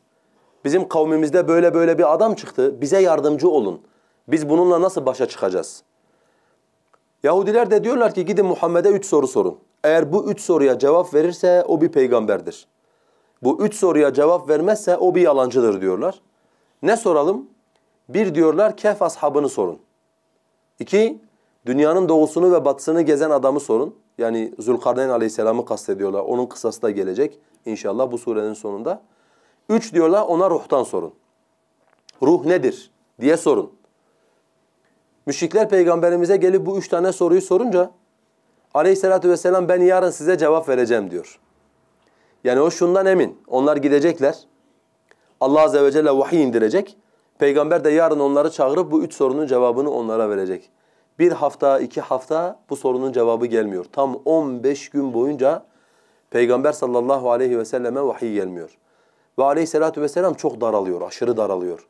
Çünkü Mekke çalkalanıyor. Muhammed yarın dedi ama 15 gün geçti aradan. Hala yani onun iddia ettiği gibi Rabbi ona vahiy indirmedi diyorlar. Cini Muhammed'e küstü diyorlar. Sihirbazı Muhammed'i terk etti diyorlar. Allah Resulüne hakaret ediyorlar. Tam böyle bir zamanda Allah Azze ve Celle işte bu ayetleri indiriyor. Kehf ashabını da anlatıyor, Zulkarneyn'i de anlatıyor, Musa ile Hızır'ı da anlatıyor. Ruh hakkında insanların az bir bilgisi olduğunu, insanların bilgisi olmadığını da anlatıyor. Ama peygamberin şahsında ümmeti de terbiye ediyor Allah Azze ve Celle. Sakın yapacağınız işleri kendinize nispet etmeyin. Yarın şöyle yapacağım, öbür gün böyle yapacağım demeyin diyor Allah Azze ve Celle. İnşallah deyin. Allah dilerse deyin, Allah dilerse deyin ki Allah Azze ve Celle sizin işlerinizi kolaylaştırsın. Allah sizi sevsin, Allah size merhamet etsin. Allah Peygamber sallallahu aleyhi ve sellemin şahsında biz ümmetine yol gösteriyor. Kardeşlerim bu konu Kur'an-ı Kerim'i dikkatli bir gözle okuyan bir Müslüman şunu görür. Allah bu konu üzerinde Müslümanları sürekli terbiye etmek istiyor. Her şeyi Allah'a bağlama, her şeyi Allah'a nispet etme, her şeyi Allah'tan bilme, Müslümanların Allah'a bu kadar yakın olmalarını istiyor Allah Azze ve Celle. Yani Müslümanın elinde bir ayna olmalı, o aynada gördüğü her şey benim Rabbimdendir demeli. Başına gelen her şeyde biz Allah'tanız ve tekrar Allah'a döneceğiz demeli. Yarın için kurduğu bütün planlarda eğer benim Rabbim diler ve izin verirse ben bunu yapacağım demeli. Müslümanlar Bedir gününde zafer kazanmışlar. Bedir gününde zafer kazanmak demek kardeşlerim, Bedir'i önemli kılan şey nedir? Yani niçin mesela Bedir ehlinin bütün günahlarını Allah affetmiştir? Çünkü imkansız bir savaşı kazanmışlardır. Yani 300 tane Müslüman var, yiyecek yemekleri yok, binecek atları yok, ellerinde tutacak silahları yok. Karşılarında Mekke'nin en güçlü, en savaşçı insanları var. Allah Azze ve Celle o 300 tane Müslümanın eliyle küfrün ordusunu tarumar etmiştir. Lakin savaş bittikten sonra şimdi siz böyle bir zafer kazanmışsınız, kahramanlık göstermişsiniz. Nasıl savaştık be diyeceksiniz ya. Allah Azze ve Celle ayet indirdi. وَمَنْ نَصْرُ إِلَّا مِنْ عِنْدِ اللّٰهِ الْعَز۪يزِ الْحَك۪يمِ Zafer sadece ve sadece aziz ve hakim olan Allah'ın katındandır. Size bir pay yok dedi Allah Azze ve Celle. Sakın böbürlenmeyin. Sakın bir şeyi kendinize nispet etmeyin. Sakın kendinizden görmeyin. Zafer sadece ve sadece aziz ve hakim olan Allah'tandır dedi. Hem Ali İmran suresinde hem de e, Enfal suresinde Allah Azze ve Celle aynı ayeti Bedir kıssasında iki defa tekrar etti. Allah Resulü Mekke'yi fethetmiş. Yani 23 yıl savaşmış, çarpışmış, kan akıtmış, gözyaşı dökmüş, aç kalmış, beldesini terk etmiş ve hedefine ulaşmış. Sonunda Allah Resulü Mekke'yi fethetmiş. Ne beklersiniz bir komutan olarak? Elhamdülillah bugüne kadar çalıştık ve çalışmalarımızın neticesini de elde ettik. Peki Allah peygamberimize nasıl bir ayet indirdi kardeşler? Mekke'nin fethi üzerine. اِذَا جَاءَ نَصْرُ اللّٰهِ وَالْفَتْحِ Allah'ın yardımı ve fetih geldiği zaman. اِذَا جَاءَ نَصْرُ اللّٰهِ وَالْفَتْحِ وَرَأَيْتَ النَّاسَ يَدْخُلُونَ ف۪ي د۪ينِ اللّٰهِ اَفْوَاجًا Sen insanların öbek öbek, topluluk topluluk bu dine gireceklerini görürsün. Allah'a hamd et, Allah'a şükret, şöyle elini bir göğsüne koy, işte benim ümmetim böyle bir ümmettir de mi dedi Allah Azze ve Celle? Hayır. Peygamber sallallahu aleyhi ve selleme ne dedi? İza caa nasrullahi vel feth ve ra'ayten nase yedhulun fi dinillahi afwaja fesebbih bihamdi rabbike vestagfirhu innehu kana tevvaba. Günahlarından bağışlanma dile Allah'a. Allah'ı hamdiyle tesbih et. Sen bütün eksikliklerden münezzehsin ya Rabbi ve bütün övgülerin sahibisin de çünkü Allah tövbeleri çokça kabul edendir dedi. Böyle bir zaferin akabinde bile Allah peygambere Rabbini eksikliklerden tenzih et ve kendi günahından dolayı da Allah'a bağışlanma dile, bağışlanma dile dedi. Demek ki kardeşlerim biraz baktık mesela İslam için çalışıyoruz. Yaptığımız çalışmalar netice veriyor. Güzel noktalara geliyoruz. Ne diyeceğiz hemen? Allah'ın dilemesi ve Allah'ın izniyle yaptıklarımız semere veriyor diyeceğiz. Kendimize bir şey nispet etmeyeceğiz. Çalıştık, çabaladık, işlerimiz iyi gitti, para kazanmaya başladık. Allah'a hamdolsun. Yahu tabii kardeşim sabah dükkanını zamanında açarsan, işte planlamayı doğru yaparsan, işte ARGE çalışmaların sağlam olursa tabii ki para kazanırsın demeyeceğiz kardeşlerim. Alemlerin Rabbi olan Allah bana lütfetti. Benim rızkımı genişletti. Benim rızkımı genişletti bu şekilde ben para kazandım diyeceğiz. Bir çocuk yetiştirdik mesela. İnsanlar baktılar her yerde parmakla gösterdiler. Maşallah dediler, ne kadar akıllı dediler. Ne kadar terbiyeli bir çocuk dediler. E tabi canım evde dikkat edersen, anne baba olarak İslam ahlakını gözetirsen tabii ki böyle güzel çocuk demeyeceksin şefkat tokatını yersin çünkü. Böyle dersen Allah Azze ve Celle'yi gücendirir. Allah'ın kıskançlığını devreye sokarsan eğer Allah sana verdiklerini senin elinden çeker, çeker alır. Eğer peygamber bile Allah diler ve izin verirse yarın cevap vereceğim demedi diye Allah 15 gün boyunca müşrikleri peygamberin aleyhine konuşturdu ama yine peygambere vahiy indirmedi ise Allah senin elindeki nimeti senin elinden çok daha sert ve kuvvetli bir şekilde çekip alabilir. Onun için bir nimet görüyorsan elinde sakın kendine pay biçme bundan. Elindeki nimeti alemlerin Rabbi olan Allah'tan olduğunu kabul et. Sonra وَذْكُرْ رَبَّكَ اِذَا نَس۪يتِ Bu da Allah'ın merhameti. Unuttuğun zaman Allah'ı hatırla dedi Peygamberimize. Unutabiliriz. Bazen sorumluluklarımızı yerine getirirken kul olmamız hasebiyle unutabiliriz. Peygamber inşallah demeyi unuttuğu gibi biz de inşallah demeyi de unutabiliriz. Başka vazifelerimizi, sorumluluklarımızı da unutabiliriz. Ama Allah ne diyor kardeşlerim? وَذْكُرْ رَبَّكَ اِذَا نَس۪يتَ Unuttuğun zaman Rabbini hatırla, Rabbini hatırla diyor. Kardeşlerim unuttuğumuz zaman niçin Rabbimizi hatırlıyoruz? Çünkü unutkanlık şeytandandır. Yani yine bu surede gelecek. Musa aleyhisselamla bir genç yolculuğa çıktıkları zaman Musa aleyhisselam balığı kaybedecekler. Musa aleyhisselam dönüp o gence diyecek ki وَمَا أَنْسَانِيهُ اِلَّا الشَّيْطَانُ اَنْ اَذْكُرَهُ Bana onu şeytan unutturdu diyecek. Bana onu şeytan unutturdu diyecek. Unutkanlık şeytandandır. Unutkanlık şeytandandır. Şeytan insana ne zaman unutturur kardeşlerim? İnsan masiyetler ve günahlarla kalbini darman duman ettiği zaman, kalbini dağıttığı zaman şeytan insanın üzerinde yol bulmaya başlar. Şeytan insanın üzerinde yol buldukça insanın zihni daha fazla dağılır. İnsanın zihni dağıldıkça insan daha fazla unutmaya başlar. Ve unutkanlığın en güzel ilacı, en etkili ilacı Allah'a zikretmektir. Yani varsa aranızda mesela ben çok fazla unutuyorum. Yani beş dakika öncesini bile unutuyorum diyen varsa eğer otursun her gün sırf bunun için ya Rabbi ben bu unutkanlıktan kurtulmak için ve senin gösterdiğin reçeteye de tabi olmak için unuttuğun zaman Rabbini hatırla. Ben seni zikredeceğim desin. Görecek ki Allah Azze ve Celle onun o unutkanlığını zikir ile Allah Azze ve Celle tedavi edecek. Onun unutkanlığını götürecektir. Çünkü zikir insanı şeytandan koruyan bir kale gibidir.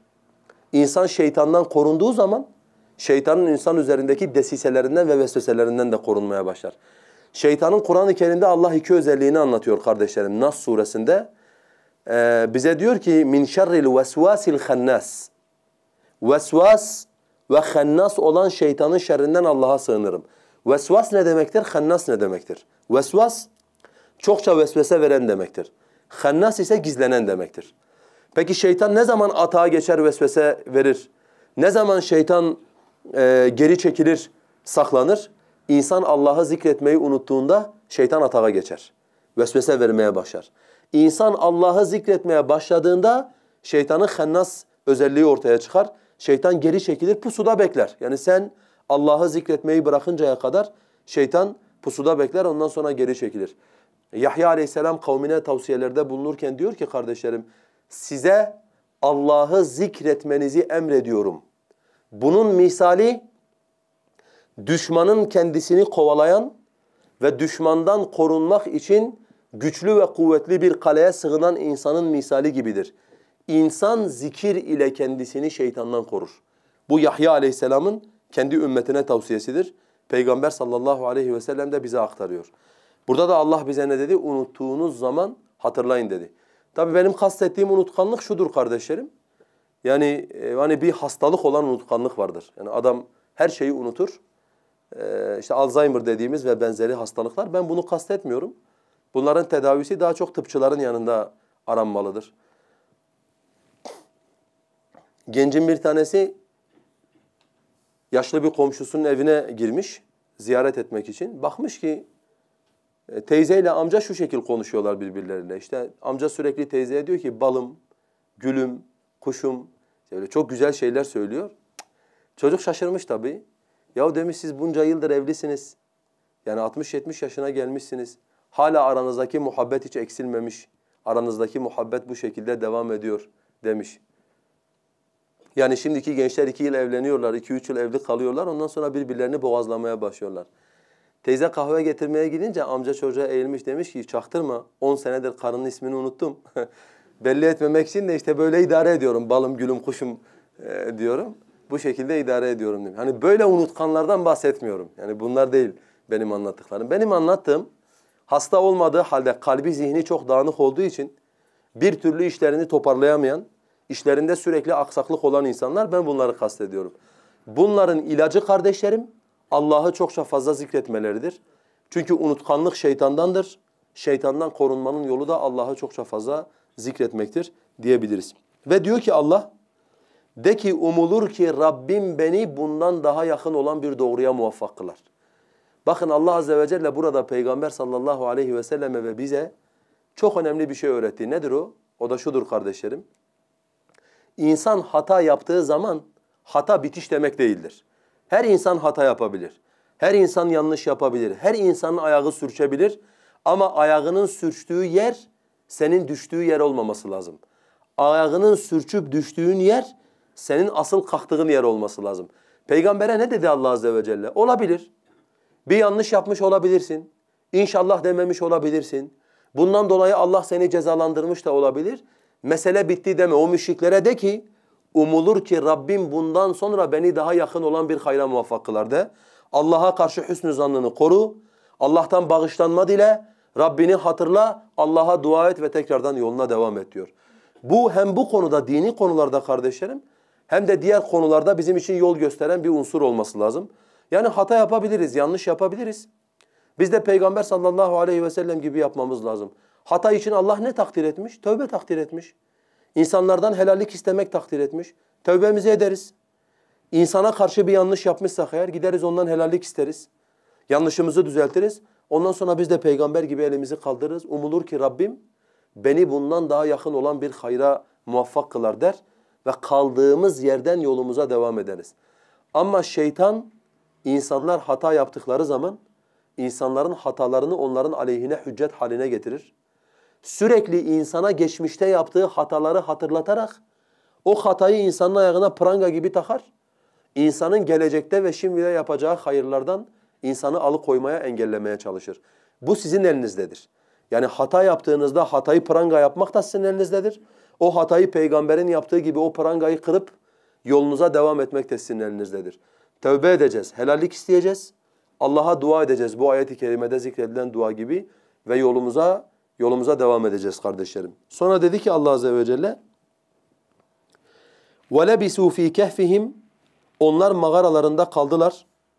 ثَلَاسَ مِئَةٍ sinine Üç yüz yıl وَازْدَادُوا تِسْعَةً Ve ona dokuz yılda kattılar, dokuz yılda eklediler. قُلِ اللّٰهُ أَعْلَمُ بِمَا لَبِسُوا de ki Allah onların ne kadar kaldığını en iyi Allah bilir. Lehu gaybus semavati vel ard. Yerin ve göğün gaybı Allah'a aittir. Yani yerde ve gökte gayb ilmi Allah'a aittir. Ma lehum min dunihi min veli. O gençlerin Allah'tan başka bir dostları yoktu. Onların tek dostları Allah'tı. Ve la yushriku fi hukmihi ahada. Ve Allah hükmünde hiç kimseyi kendisine ortak kabul etmez hiç kimseyi kendisine ortak kılmaz dedi Rabbimiz Azze ve Celle. Onlar mağaralarında 300 yıl kalıp 9 da eklediler. Yani 309 yıl kaldılar. Bu ayette Allah gençlerin kaç yıl mağarada kaldığını mı anlatıyor? Yoksa peygamberimiz döneminde var olan sapkın bir düşünceye cevap mı veriyor? Yani o sapıklar derler ki onlar mağarada 309 yıl kaldılar. Bu tefsirciler arasında ihtilaf edilmiştir. Bazısı demiştir ki gençler mağarada 309 yıl kaldılar. Allah ayet-i kerimede çünkü böyle söylüyor. Bazısı da demiştir ki İbni Abbas gibi radıyallahu an Allah onların kaç yıl kaldığını anlatmıyor. Allah bazı insanların onların 309 yıl kaldığını söylüyor. Bir sonraki ayette de diyor ki de ki benim Rabbim onların kaç yıl kaldığını en iyi benim Rabbim bilir. Çünkü yerin ve göğün gaybı Allah'a aittir. Eğer bir önceki ayette Allah kaç yıl kaldıklarını bildirseydi bu ayette Allah'ın böyle bir ifade kullanması anlamsız olurdu diyor Abdullah İbni Abbas radıyallahu anh. Allahu alem yani bizim de gönlümüzün meylettiği kardeşlerim Abdullah İbni Abbas'ın söylediğidir. O gençlerin mağarada kaç yıl kaldığını bir tek Allah bilir. Yani uzun yıllar kaldığını kaldıklarını biliyoruz ama kaç yıl olduğunu bir tek Allah bilir. Sonra dedi ki kardeşlerim Allah, lehu gaybus semavati vel ard. Yerin ve göğün gaybı Allah'a aittir. Müslümanlara tevhidi öğretirken Kur'an en fazla tekrar ettiği cümlelerden bir tanesi budur. La ya'lemul gaybe illallah. Allah'tan başka gaybın bilgisini hiç kimse bilmez. Kul la ya'lemu men fis semavati vel ardil gaybe illallah. De ki yerde ve gökte Allah'tan başka gaybın bilgisine sahip olacak olan hiç kimse yoktur. Ve indehu mefatihul gaybi la ya'lemuha illa. Gaybın anahtarları Allah'ın yanındadır. Allah'tan başka hiç kimse gaybın bilgisine sahip değildir. Gayb nedir kardeşlerim? Senin görmediğin her şey senin için gayiptir. Gayb senin görmediğin her şeydir. Şu duvarın arkası bizim için gayiptir. Geçmiş bizim için gayiptir. Gelecek bizim için gayiptir. Yani Allah Azze ve Celle Ali İmran suresinde Meryem'in kıssasını anlattıktan sonra aleyhisselam Hud suresinde Nuh aleyhisselamın kıssasını anlattıktan sonra bunlar geçmiş ümmetler ذَٰلِكَ مِنْ اَنْبَاءِ الْغَيْبِ نُحِيهِ اِلَيْكِ Bu gaybın haberlerindendir biz sana bunları aktarıyoruz, vahyediyoruz dedi. Yani geçmişe de Allah gayb dedi. Dikkat ederseniz burada Kehf ashabının kıssasına da Allah gayb dedi. Gelecek de bizim için aynı şekilde gayiptir. Senin görmediğin ve elinde kesin bir delil olmayan her şey senin için gayiptir ve gaybi konularda konuşmayacaksın. Bir şey gayipsa gaybi konularda konuşmayacaksın. Ağzını kapatacaksın. Allah'ın sana bildirdiği kadarını söyleyecek. Allah'ın sana bildirdiği kadarına teslim olacaksın. Kur'an-ı Kerim bunu özellikle tekrar ediyor kardeşlerim. Gaybı Allah'tan başkası bilmez. Gaybı Allah'tan başkası bilmez diyor. Lakin bugün siz herhangi bir velilerin menkıbelerini anlatan kitabı açtığınız zaman bir adamın veli olabilmesi için mutasavvıfların yanında en temel meselelerden biri gaybtan haber verebiliyor olmasıdır. Yani gaybtan haber verebiliyorsa velidir, değilse değildir. Şa'rani tabakatında birinden bahsediyor. İsmini unuttum şimdi.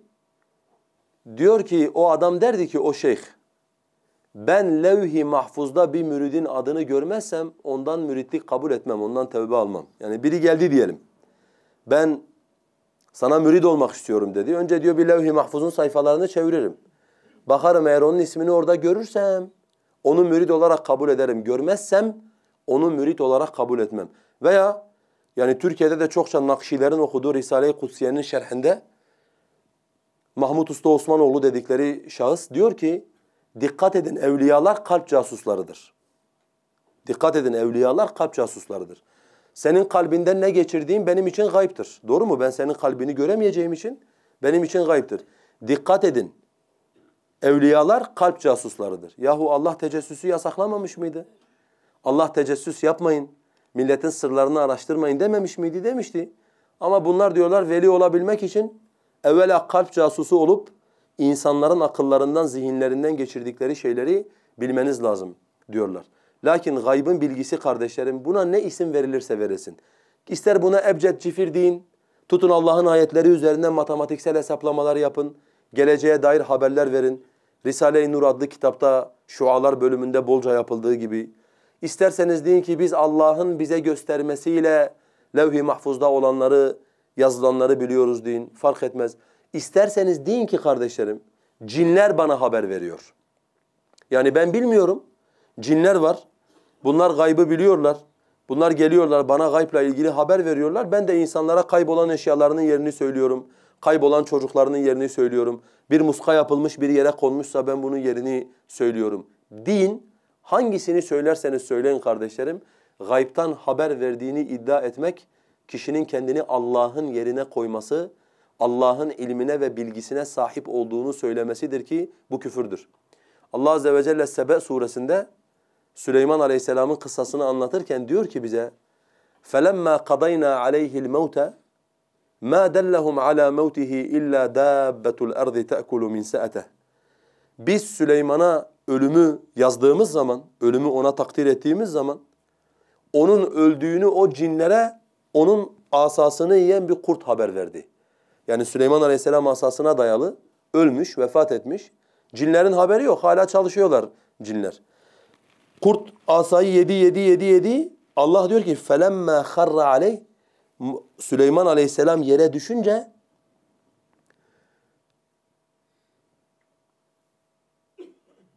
فَلَمَّا قَضَيْنَا عَلَيْهِ الْمَوْتَ مَا دَلَّهُمْ عَلَى مَوْتِهِ إِلَّا دَابَّةُ الْأَرْضِ تَأْكُلُ مِنْ سَأَتَهِ فَلَمَّا خَرَّ عَلَيْهِ تَبَيَّنَتِ الْجِنُّ أَنْ لَوْ كَانُوا يَعْلَمُونَ الْغَيْبَ مَا لَبِثُوا فِي الْعَذَابِ الْمُهِينِ Süleyman Aleyhisselam yere yığılınca cinler anladılar ki eğer gaybı biliyor olsalardı bu alçaltıcı azabın içerisinde öylece beklemezlerdi.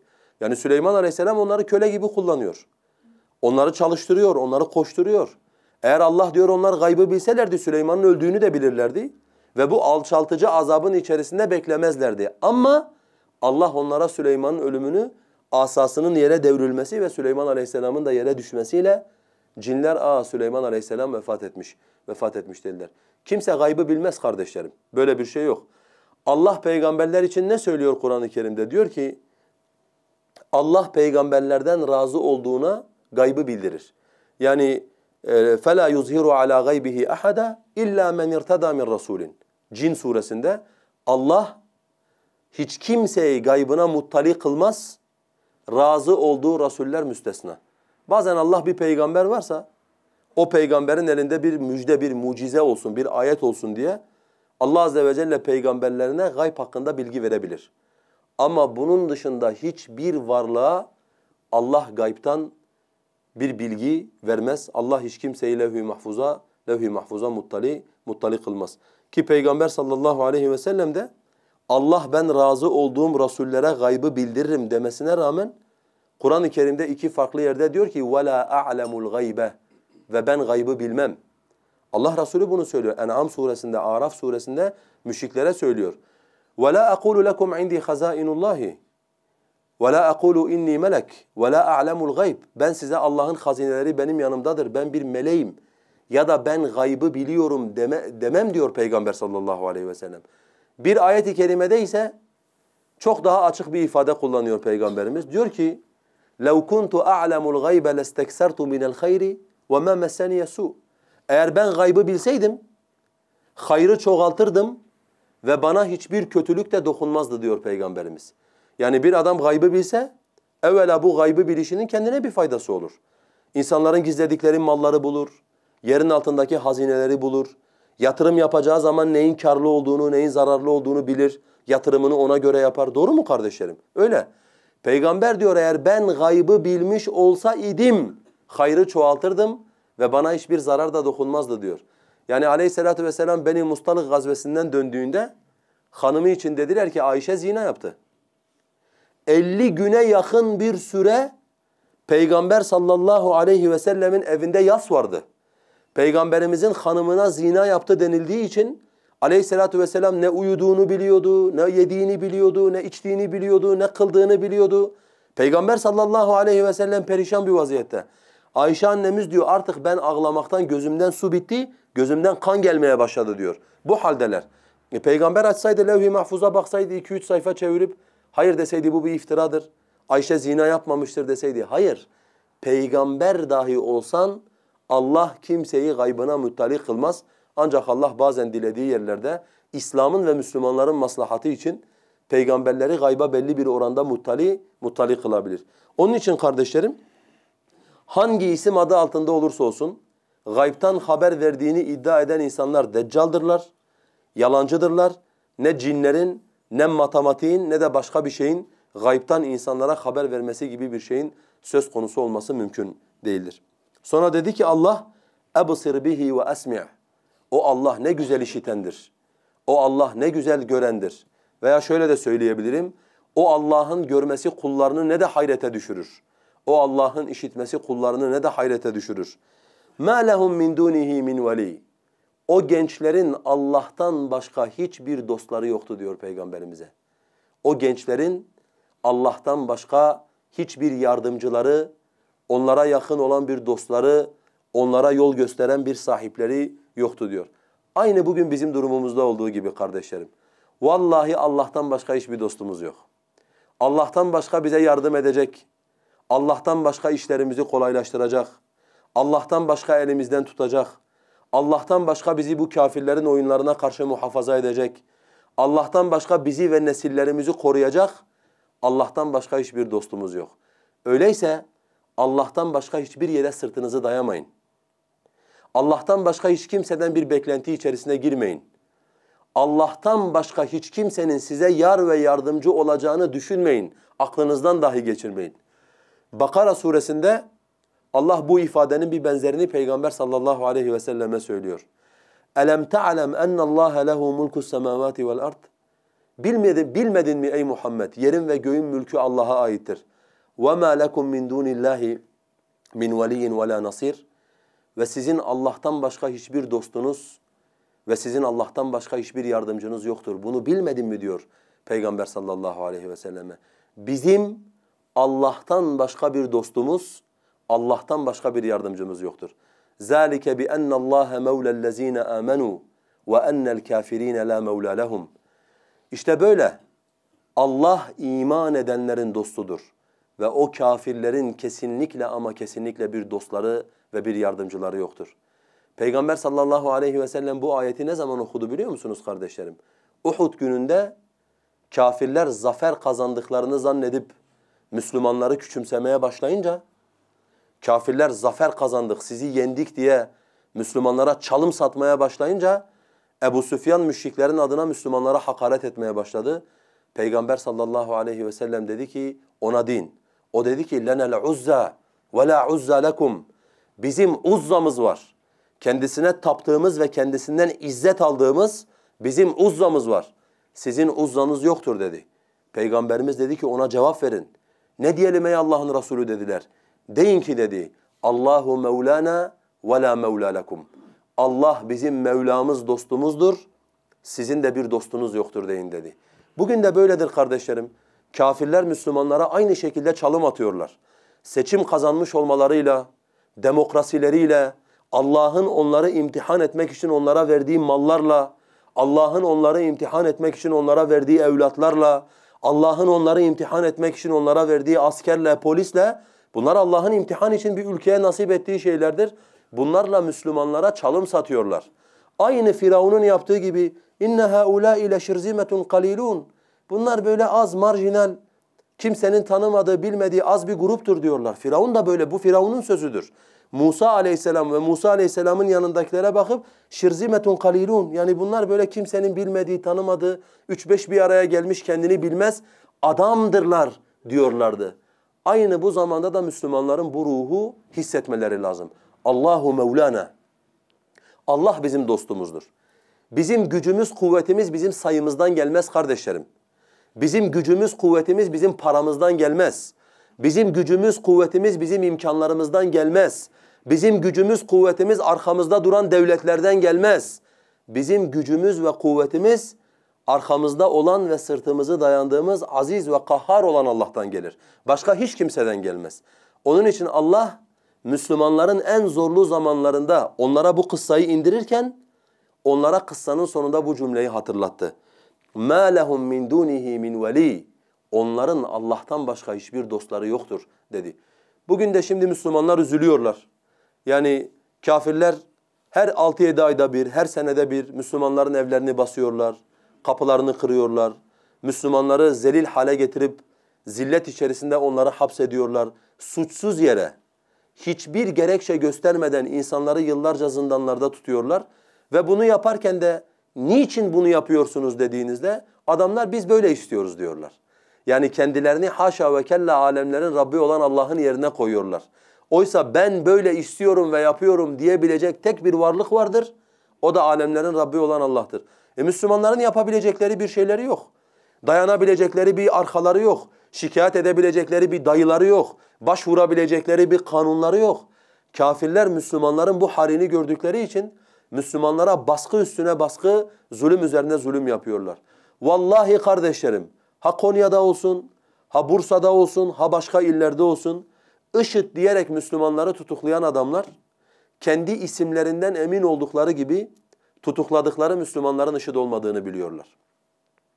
Dün El-Kaide diyerek Müslümanları tutuklayanların, tutukladıkları adamların El-Kaide ile hiçbir alakalarının olmadığını bilerek onları tutuklamalarına rağmen tutukluyorlardı ya. Bugün de aynı şekilde insanları IŞİD diye tutuklayanlar, tutukladı, tutukladıkları adamların birçoğunun IŞİD'le uzaktan yakından bir alakalarının olmadığını biliyorlar. Peki bilmelerine rağmen niye böyle yapıyorlar kardeşlerim? Kendilerini güçlü zannediyorlar. Kendilerini güçlü zannediyorlar. 2011 yılında kardeşler El-Kaide diye bizi tutuklayan polislerden bir tanesi bana 2009 yılında biz cezaevine girdiğimizde El-Kaide'nin El-Kaide'nin temsilcisi olduğunu Türkiye'de tek kabul eden bir adam var zaten. Yani ben El-Kaide'nin temsilcisiyim diyor adam Türkiye'de. O da Kandıra cezaevinde yatan Suriye Arap asıllı bir bir insan. Biz cezaevine girdiğimiz zaman kardeşler bu bizim kardeşlerle karşılaşınca bizim kardeşlerin akidelerini dinleyince şimdi adam 3-4 gün haberlerde şey izlemiş. İşte El-Kaide'ye baskın yapıldı, El-Kaide tutuklandı. Biz de tutuklanınca bu da sevinmiş hani kardeşlerim geldi diye. Adam sevinmiş. Şimdi bizimkilerle tanışınca bizim kardeşler demişler sen Müslüman bile değilsin. Yani hani sen bu akideyle Müslüman bile olamazsın e, demişler. Adam tutmuş bir mektup yazmış. Yani bunlar kesinlikle El-Kaide değildir. Biz kesinlikle böyle adamları kabul etmeyiz. Bunların akideleri şöyle aşırıdır. Bunlar haricidir. Ebu Musab el-Zerkavi bunları Irak'ta kovardı falan filan. 7-8 sayfa o hepiniz hatırlıyorsunuz. Saçma sapan bir mektup yazmış. 2011 yılında El-Kaide diye bizi tutuklayan polis amiri benle Louis Hakka'nın bizim hakkımızda yazdığı mektubu konuşuyor. He ya diyor bak gördün mü o da diyor size bir bir cevap yazdı sizin El-Kaide olmadığınıza dair. Adam beni El-Kaide'den tutuklamış. Benimle El-Kaide'nin bizim El-Kaide olmadığımıza dair yayınladığı mektup üzerinden konuşuyor. Bu nedir biliyor musunuz? Bu kibirdir kardeşlerim. Biz isteriz olur demektir. Biz biz istediğimize El-Kaide deriz. İstediğimize şebap deriz, istediğimize PKK deriz, istediğimize FETÖ, istediğimize FETÖ deriz. Hiç kimse de bir şey, bize bir şey yapmaz demektir. Allah bu kadarına sabretmez. Bu kadar zulüm, bu kadar baskı, bu kadar yalan, bu kadar dolan Allah azze ve celle bu kadarına sabretmez. Bunlardan öncekilere de sabretmedi çünkü Allah.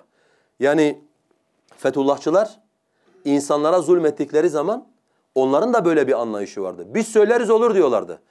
El-Kaide olmayabilirsin, IŞİD olmayabilirsin, Şebap olmayabilirsin. Sorun yok. Ama ben sana El-Kaide derim olur. Adam Kürt, gariban kendi halinde bir molla adamı tutmuşlar KCK diye getirmişler içeriye atmışlar. Yahu Allah'tan korkmazlar. Adam PKK'nın zulmünden kaçmış İstanbul'a gelmiş. Sen bu adamı nasıl KCK diye tutup atıyorsun buraya? Niye? Adam onların hocaları hakkında konuşmuş çünkü. Adamı atıyorlar içeriye. Adam aylarca, yıllarca sorgusuz, sualsiz cezaevinde cezaevinde bekliyor. Sebep peki? Sebep biz birinin ipini çektik mi? Biz birine bu adamın konuşma hakkı yoktur dedik mi? O adam artık konuşamaz. Kibir. Başka hiçbir şey değil. Bugün yönetimde olanların göstermiş oldukları kibir gibi kibir gösterdiler. Ama bütün mütekebbirlerin sonu bellidir. Allah haksız yere büyüklenen hiçbir kulundan razı olmaz ve Allah mutlaka bu kibrin sonunda insanlara yapılan zulmün cezasını insanlara gösterir. İşte böylesi zamanlarda kardeşlerim şunu bileceksiniz. Şunu bileceksiniz. Çünkü bunlar o kadar yüzsüz adamlardır ki Amerika ile beraber uçak kaldırır, ülke bombalattırır. İngilizle beraber proje geliştirir, şey, ülke işgal eder. Almanya'ya üstünü verir, Almanya'nın uçakları kalkar gider mazlumları bombalar. Ama oturduğu yerden de elini böyle sırtına yaslar, utanmadan, sıkılmadan der ki bunlar zaten İngilizlerin adamları. Ula bir İngiliz adamı varsa o da sensin da. Bir Amerikan uşağı varsa o da sensin da. Bizim ne Amerika'yla, ne İngilizle, ne Fransa'yla, ne Almanya'yla işimiz e, işimiz olacak. Yeryüzündeki bütün kafirler yeşiliyle, kırmızısıyla, mavisiyle bizim gözümüzde birdir. Nasıl kendini İslam'a nispet edip Allah'a şirk koşan bir kafir bizim yanımızda kafirdir. Bunlar yeryüzünü, beldeleri işgal eden adamlardır. Nasıl sen bizi bizim gibi Müslümanları bu insanlarla ilişkilendirebilirsin? Bunlarla beraber dünyayı ifsad eden adamlar koltuklarına oturdukları zaman utanmadan, sıkılmadan, haya etmeden Müslümanları gösterip diyorlar ki bunlar İngilizlerin uşağıdırlar. E sizin elinizde bir medya yok. Ne yapacaksınız? Kendinizi anlatabileceğiniz, efendim bunlar yalan söylüyorlar, delilleri de bunlardır, bunlardır, bunlardır diyebileceğiniz kimse yok. Herkes sizin adınıza çıkıp konuşuyor televizyonlarda. Herkes. Mikrofonu bize uzatsana kardeşim. Benden konuşuyorsun. Ömründe beni görmemiş adama mikrofon uzatmışsın. Adam benim hakkımda konuşuyor. Beni merak ediyorsan getir mikrofonu bana uzat. Ben sana kim olduğumu anlatayım. Müslümanlar sana kim olduklarını anlatsınlar. Ama senin Allah'tan başka dostun yok. Bu geçmişte de böyleydi. Bu ayetlerin indiği zamanda da bu böyleydi. Bu bugün de böyledir. Bizim Allah'tan başka hiçbir dostumuz yoktur. Ve bütün şekvamız, bütün şikayetimiz alemlerin Rabbi olan Allah'adır. Allah'ım biz bu zalimleri sana şikayet ediyoruz. Allah'ım biz bu zalimleri sana şikayet ediyoruz. Allah'ım biz bu zalimleri sana şikayet ediyoruz. Senden başka şikayet edecek hiç kimsemiz de yoktur. Ne yapalım kardeşler? Bunları Allah'a şikayet ediyoruz. Ve umuyoruz ki Allah hem dünyada hem de ahirette bizim bu şekvamızın sonucunu bize göstersin. Kim haklı ise, kim zulmediyorsa, kim birilerine uşaklık yapıyorsa, kim beldeleri işgal edip beldeleri ifsad ediyorsa Allah Azze ve Celle onların gerçek yüzünü zaman geciktirmeden bütün insanlara ve bütün insanlığa göstermiş olsun. Onun için siz de bununla izzet bulacaksınız. Diyeceksiniz ki bizim Allah'tan başka hiçbir dostumuz, Allah'tan başka hiçbir sahibimiz yoktur diyeceksiniz. Başka türlü de zaten dediğim gibi bunların büyüklenmeleri, bunların kibirlerine karşı yapabilecek bir şeyimiz yoktur. Ve bunlar kardeşlerim sadece bize zulmetmiyorlar ha. Emin olabilirsiniz bunlar sadece bize zulmetmiyorlar. Bunlar kendilerine muhalif gördükleri kim varsa hepsine zulmediyorlar. Kendilerine muhalif gördükleri kim varsa e, zulmediyorlar. Ne istiyorlar bilmiyorum. Padişahlığı mı kurmak istiyorlar? Yoksa eski saltanat Osmanlı dönemini mi geri getirmek istiyorlar onu bilmiyorum. Ama kendilerine muhalif gördükleri kim varsa bir şekilde onun bir şekilde onun sesini kısmaya çalışıyorlar. Başkalarını bilmeyiz. Biz zulmün her türlüsüne karşıyız. Biz zulmün her türlüsüne karşıyız. Zulmün hiçbir rengine ve hiçbir tonuna taraftar değiliz. İster Müslümanlardan olan zulüm olsun, ister kafirlerden ister fasıklardan olan zulüm olsun. Biz hiçbir tanesini hiçbir tanesini kabul etmiyoruz. Hatırlarsanız kardeşlerim biz yıllarca bu Fethullahçılar, bu bu adamlar bunlar Müslüman değildir. Bunlar batının uşaklarıdır. Bunlar yeryüzünü ifsad ediyorlar. Bunlar ülkede bambaşka bir proje peşindedirler dediğimiz zaman Fethullah Hoca Efendi derken 40 takla atan soytarılar, böyle dediğimizden dolayı bizi kınayan şaklabanlar, şimdi bu adam kafirdir ya diyorlar. Bu zaten kafirdir, bunun dinle imanla bir alakası olmaz. Olma. Hani dinde tekfir yoktu? Hani tekfir İslam'a hariciler aracılığıyla girmişti? Hani Müslümanlar ne olursa olsun kimseyi tekfir etmezdi? İşte adamı tekfir ediyorsunuz. Adam zaten kafir, sizin tekfir etmenize gerek yok.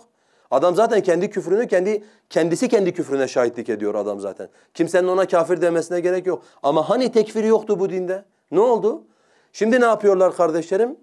FETÖ adı altında kendilerinden olmayan kim varsa oraya Oraya sıkıştırıp görevden atıyorlar, işten alıyorlar, memurluğunu memurluğunu iptal ediyorlar. Biz Müslümanlar olarak bu zulme de karşıyız. Yani FETÖ adı altında normal insanlara zulüm edilmesine de karşıyız. Başka isim adı altında Müslümanlara zulmedilmesine de karşıyız. Çünkü biz adil olan Allah'ın kullarıyız ve biz zulmün her türlüsüne karşıyız. En büyük zulüm olan şirkten en küçük zulüm olan haksızlığa kadar ne kadar zulüm varsa biz bunların hepsine karşıyız. Ve bu konuda Allah'tan başka diyoruz biz de Yakup Aleyhisselam'ın dediği gibi innema eşku besi ve huzni ilallah. Derdimi de hüznümü de sadece Allah'a şikayet ediyorum diyordu Yakup Aleyhisselam. Biz de diyoruz ya Rabbi biz bunları sana şikayet ediyoruz. Şekvamız sanadır. Ve senden başka da başvuracağımız bir dostumuz, bir kaynağımız yoktur. Ve la yushriku fi hukmihi ahada. Ve Allah kendi hükmüne hiç kimseyi ortak kabul etmez dedi Allah azze ve celle. Bu ayet-i kerime kardeşlerim yedi kıraat mütevatir kıraatte iki şekilde okunmuş.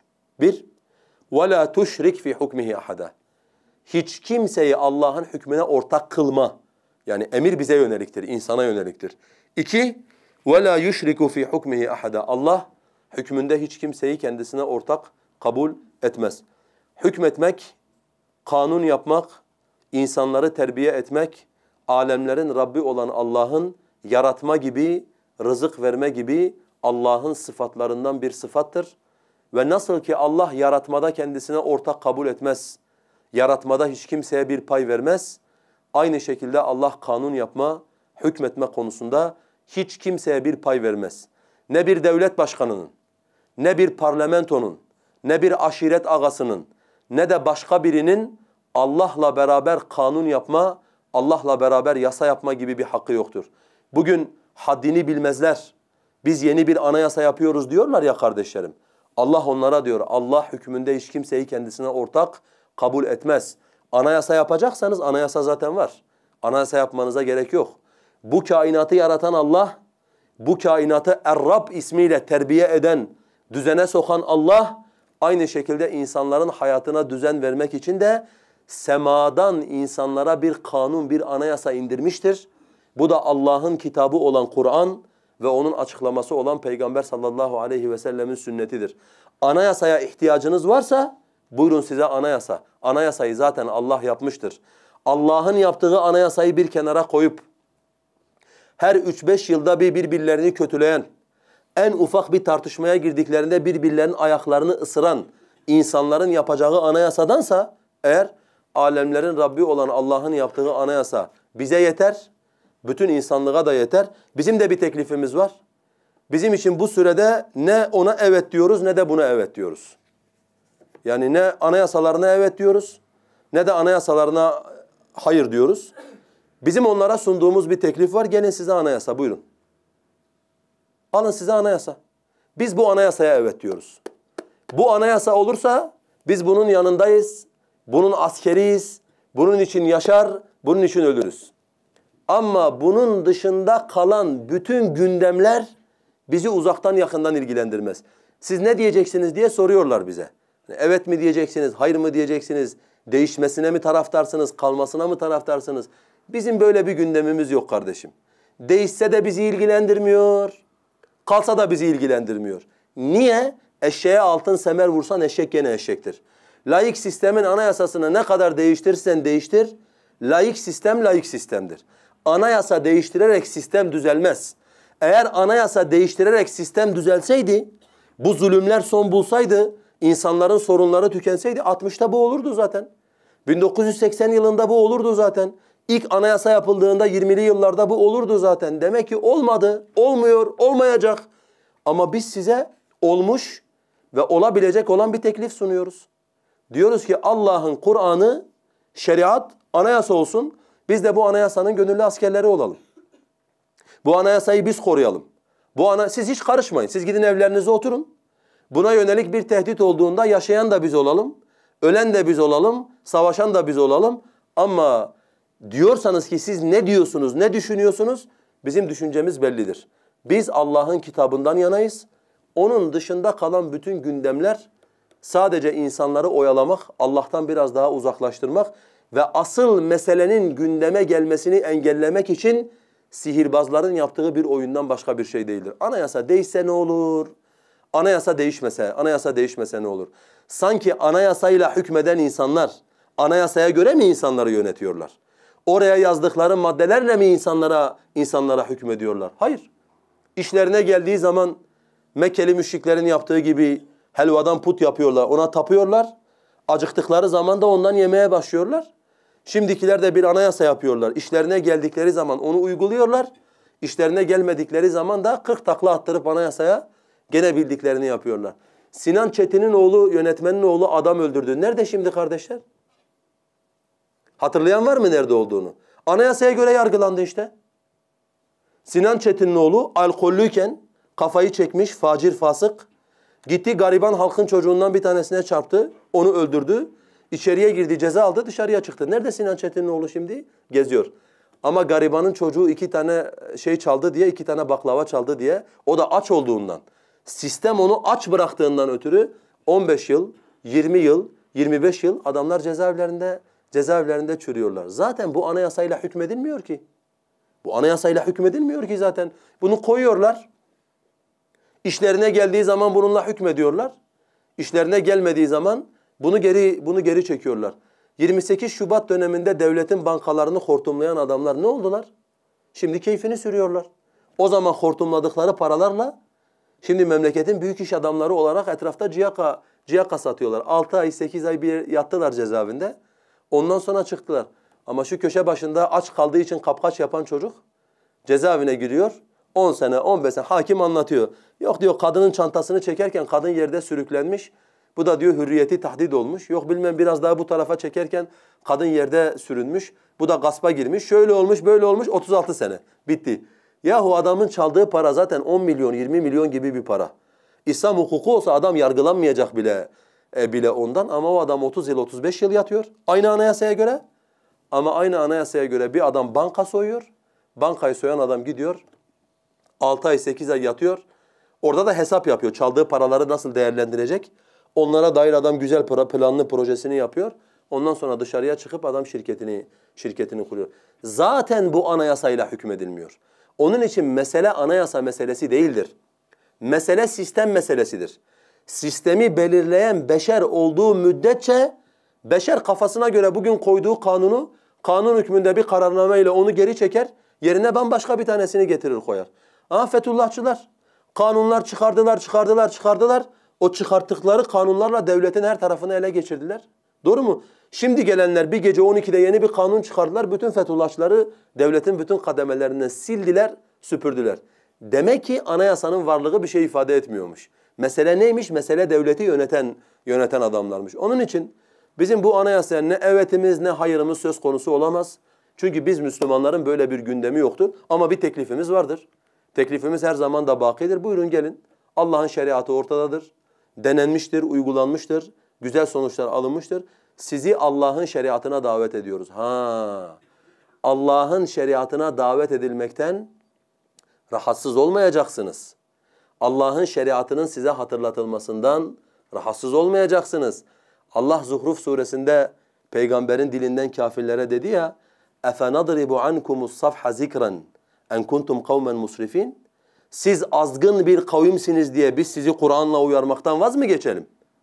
Siz azdınız, şımardınız, isyan ettiniz diye biz başımızı önümüze bükelim bu Kur'an'ın ayetlerini okumayalım mı? Hayır.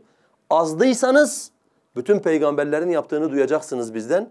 Size azgınlığınızı hatırlatacağız ve Allah'ın yaklaşan azabıyla sizi uyaracağız. Çünkü bütün peygamberler kavimlerini ahiret azabıyla korkutmuşlardır. Allah'ın karşısına çıkacakları günü onlara hatırlatmışlardır. Onun için kardeşlerim bizim Allah'tan başka hiçbir dostumuz yoktur ve biz Allah'tan başka da hiçbir kanun yapıcı tanımayız. Allah'ın dışında kanun yaptığını iddia edenlerin hepsinin zavallı olduğuna inanırız ve onlara acırız. Biliriz ki onlar zavallılıklarından ötürü Allah'a kafa tutuyorlar. Vallahi beş dakika oturup düşünseler, başlarını ellerinin arasına alsalar, egemenlik kayıtsız şartsız milletindir demezler biz anayasa yapıyoruz demezler. Bu yaptıklarının Allah'a kafa tutmak olduğunu ve Allah'ı gazaba getirdiğini bilirler. Allah Azze ve Celle'den temennimiz bizlere onun şeriatının gölgesinde yaşamayı ihsan etmesidir. Allah Azze ve Celle'den temennimiz bizi onu hakiki dost bilen, ona dayanan, ona sığınan, ondan yardım isteyen, Rabbine iman eden temiz gençlerden kılmasıdır. Allah Azze ve Celle bu kitabı doğru anlamayı, doğru yaşamayı, doğru anlatmayı bizlere müyesser kılsın. Rabbim bu meclisleri bizim için merhamet meclisi eylesin. Üzerimize rahmetin ve sekinetin indiği, meleklerin bizi kuşattığı ve Allah'ın kendilerinden razı olduğu kullardan eylesin. Allahumme amin. Ve ahiru davana enelhamdülillahi rabbil alemin. Esselamu aleyküm ve rahmetullahi ve berekatuhu.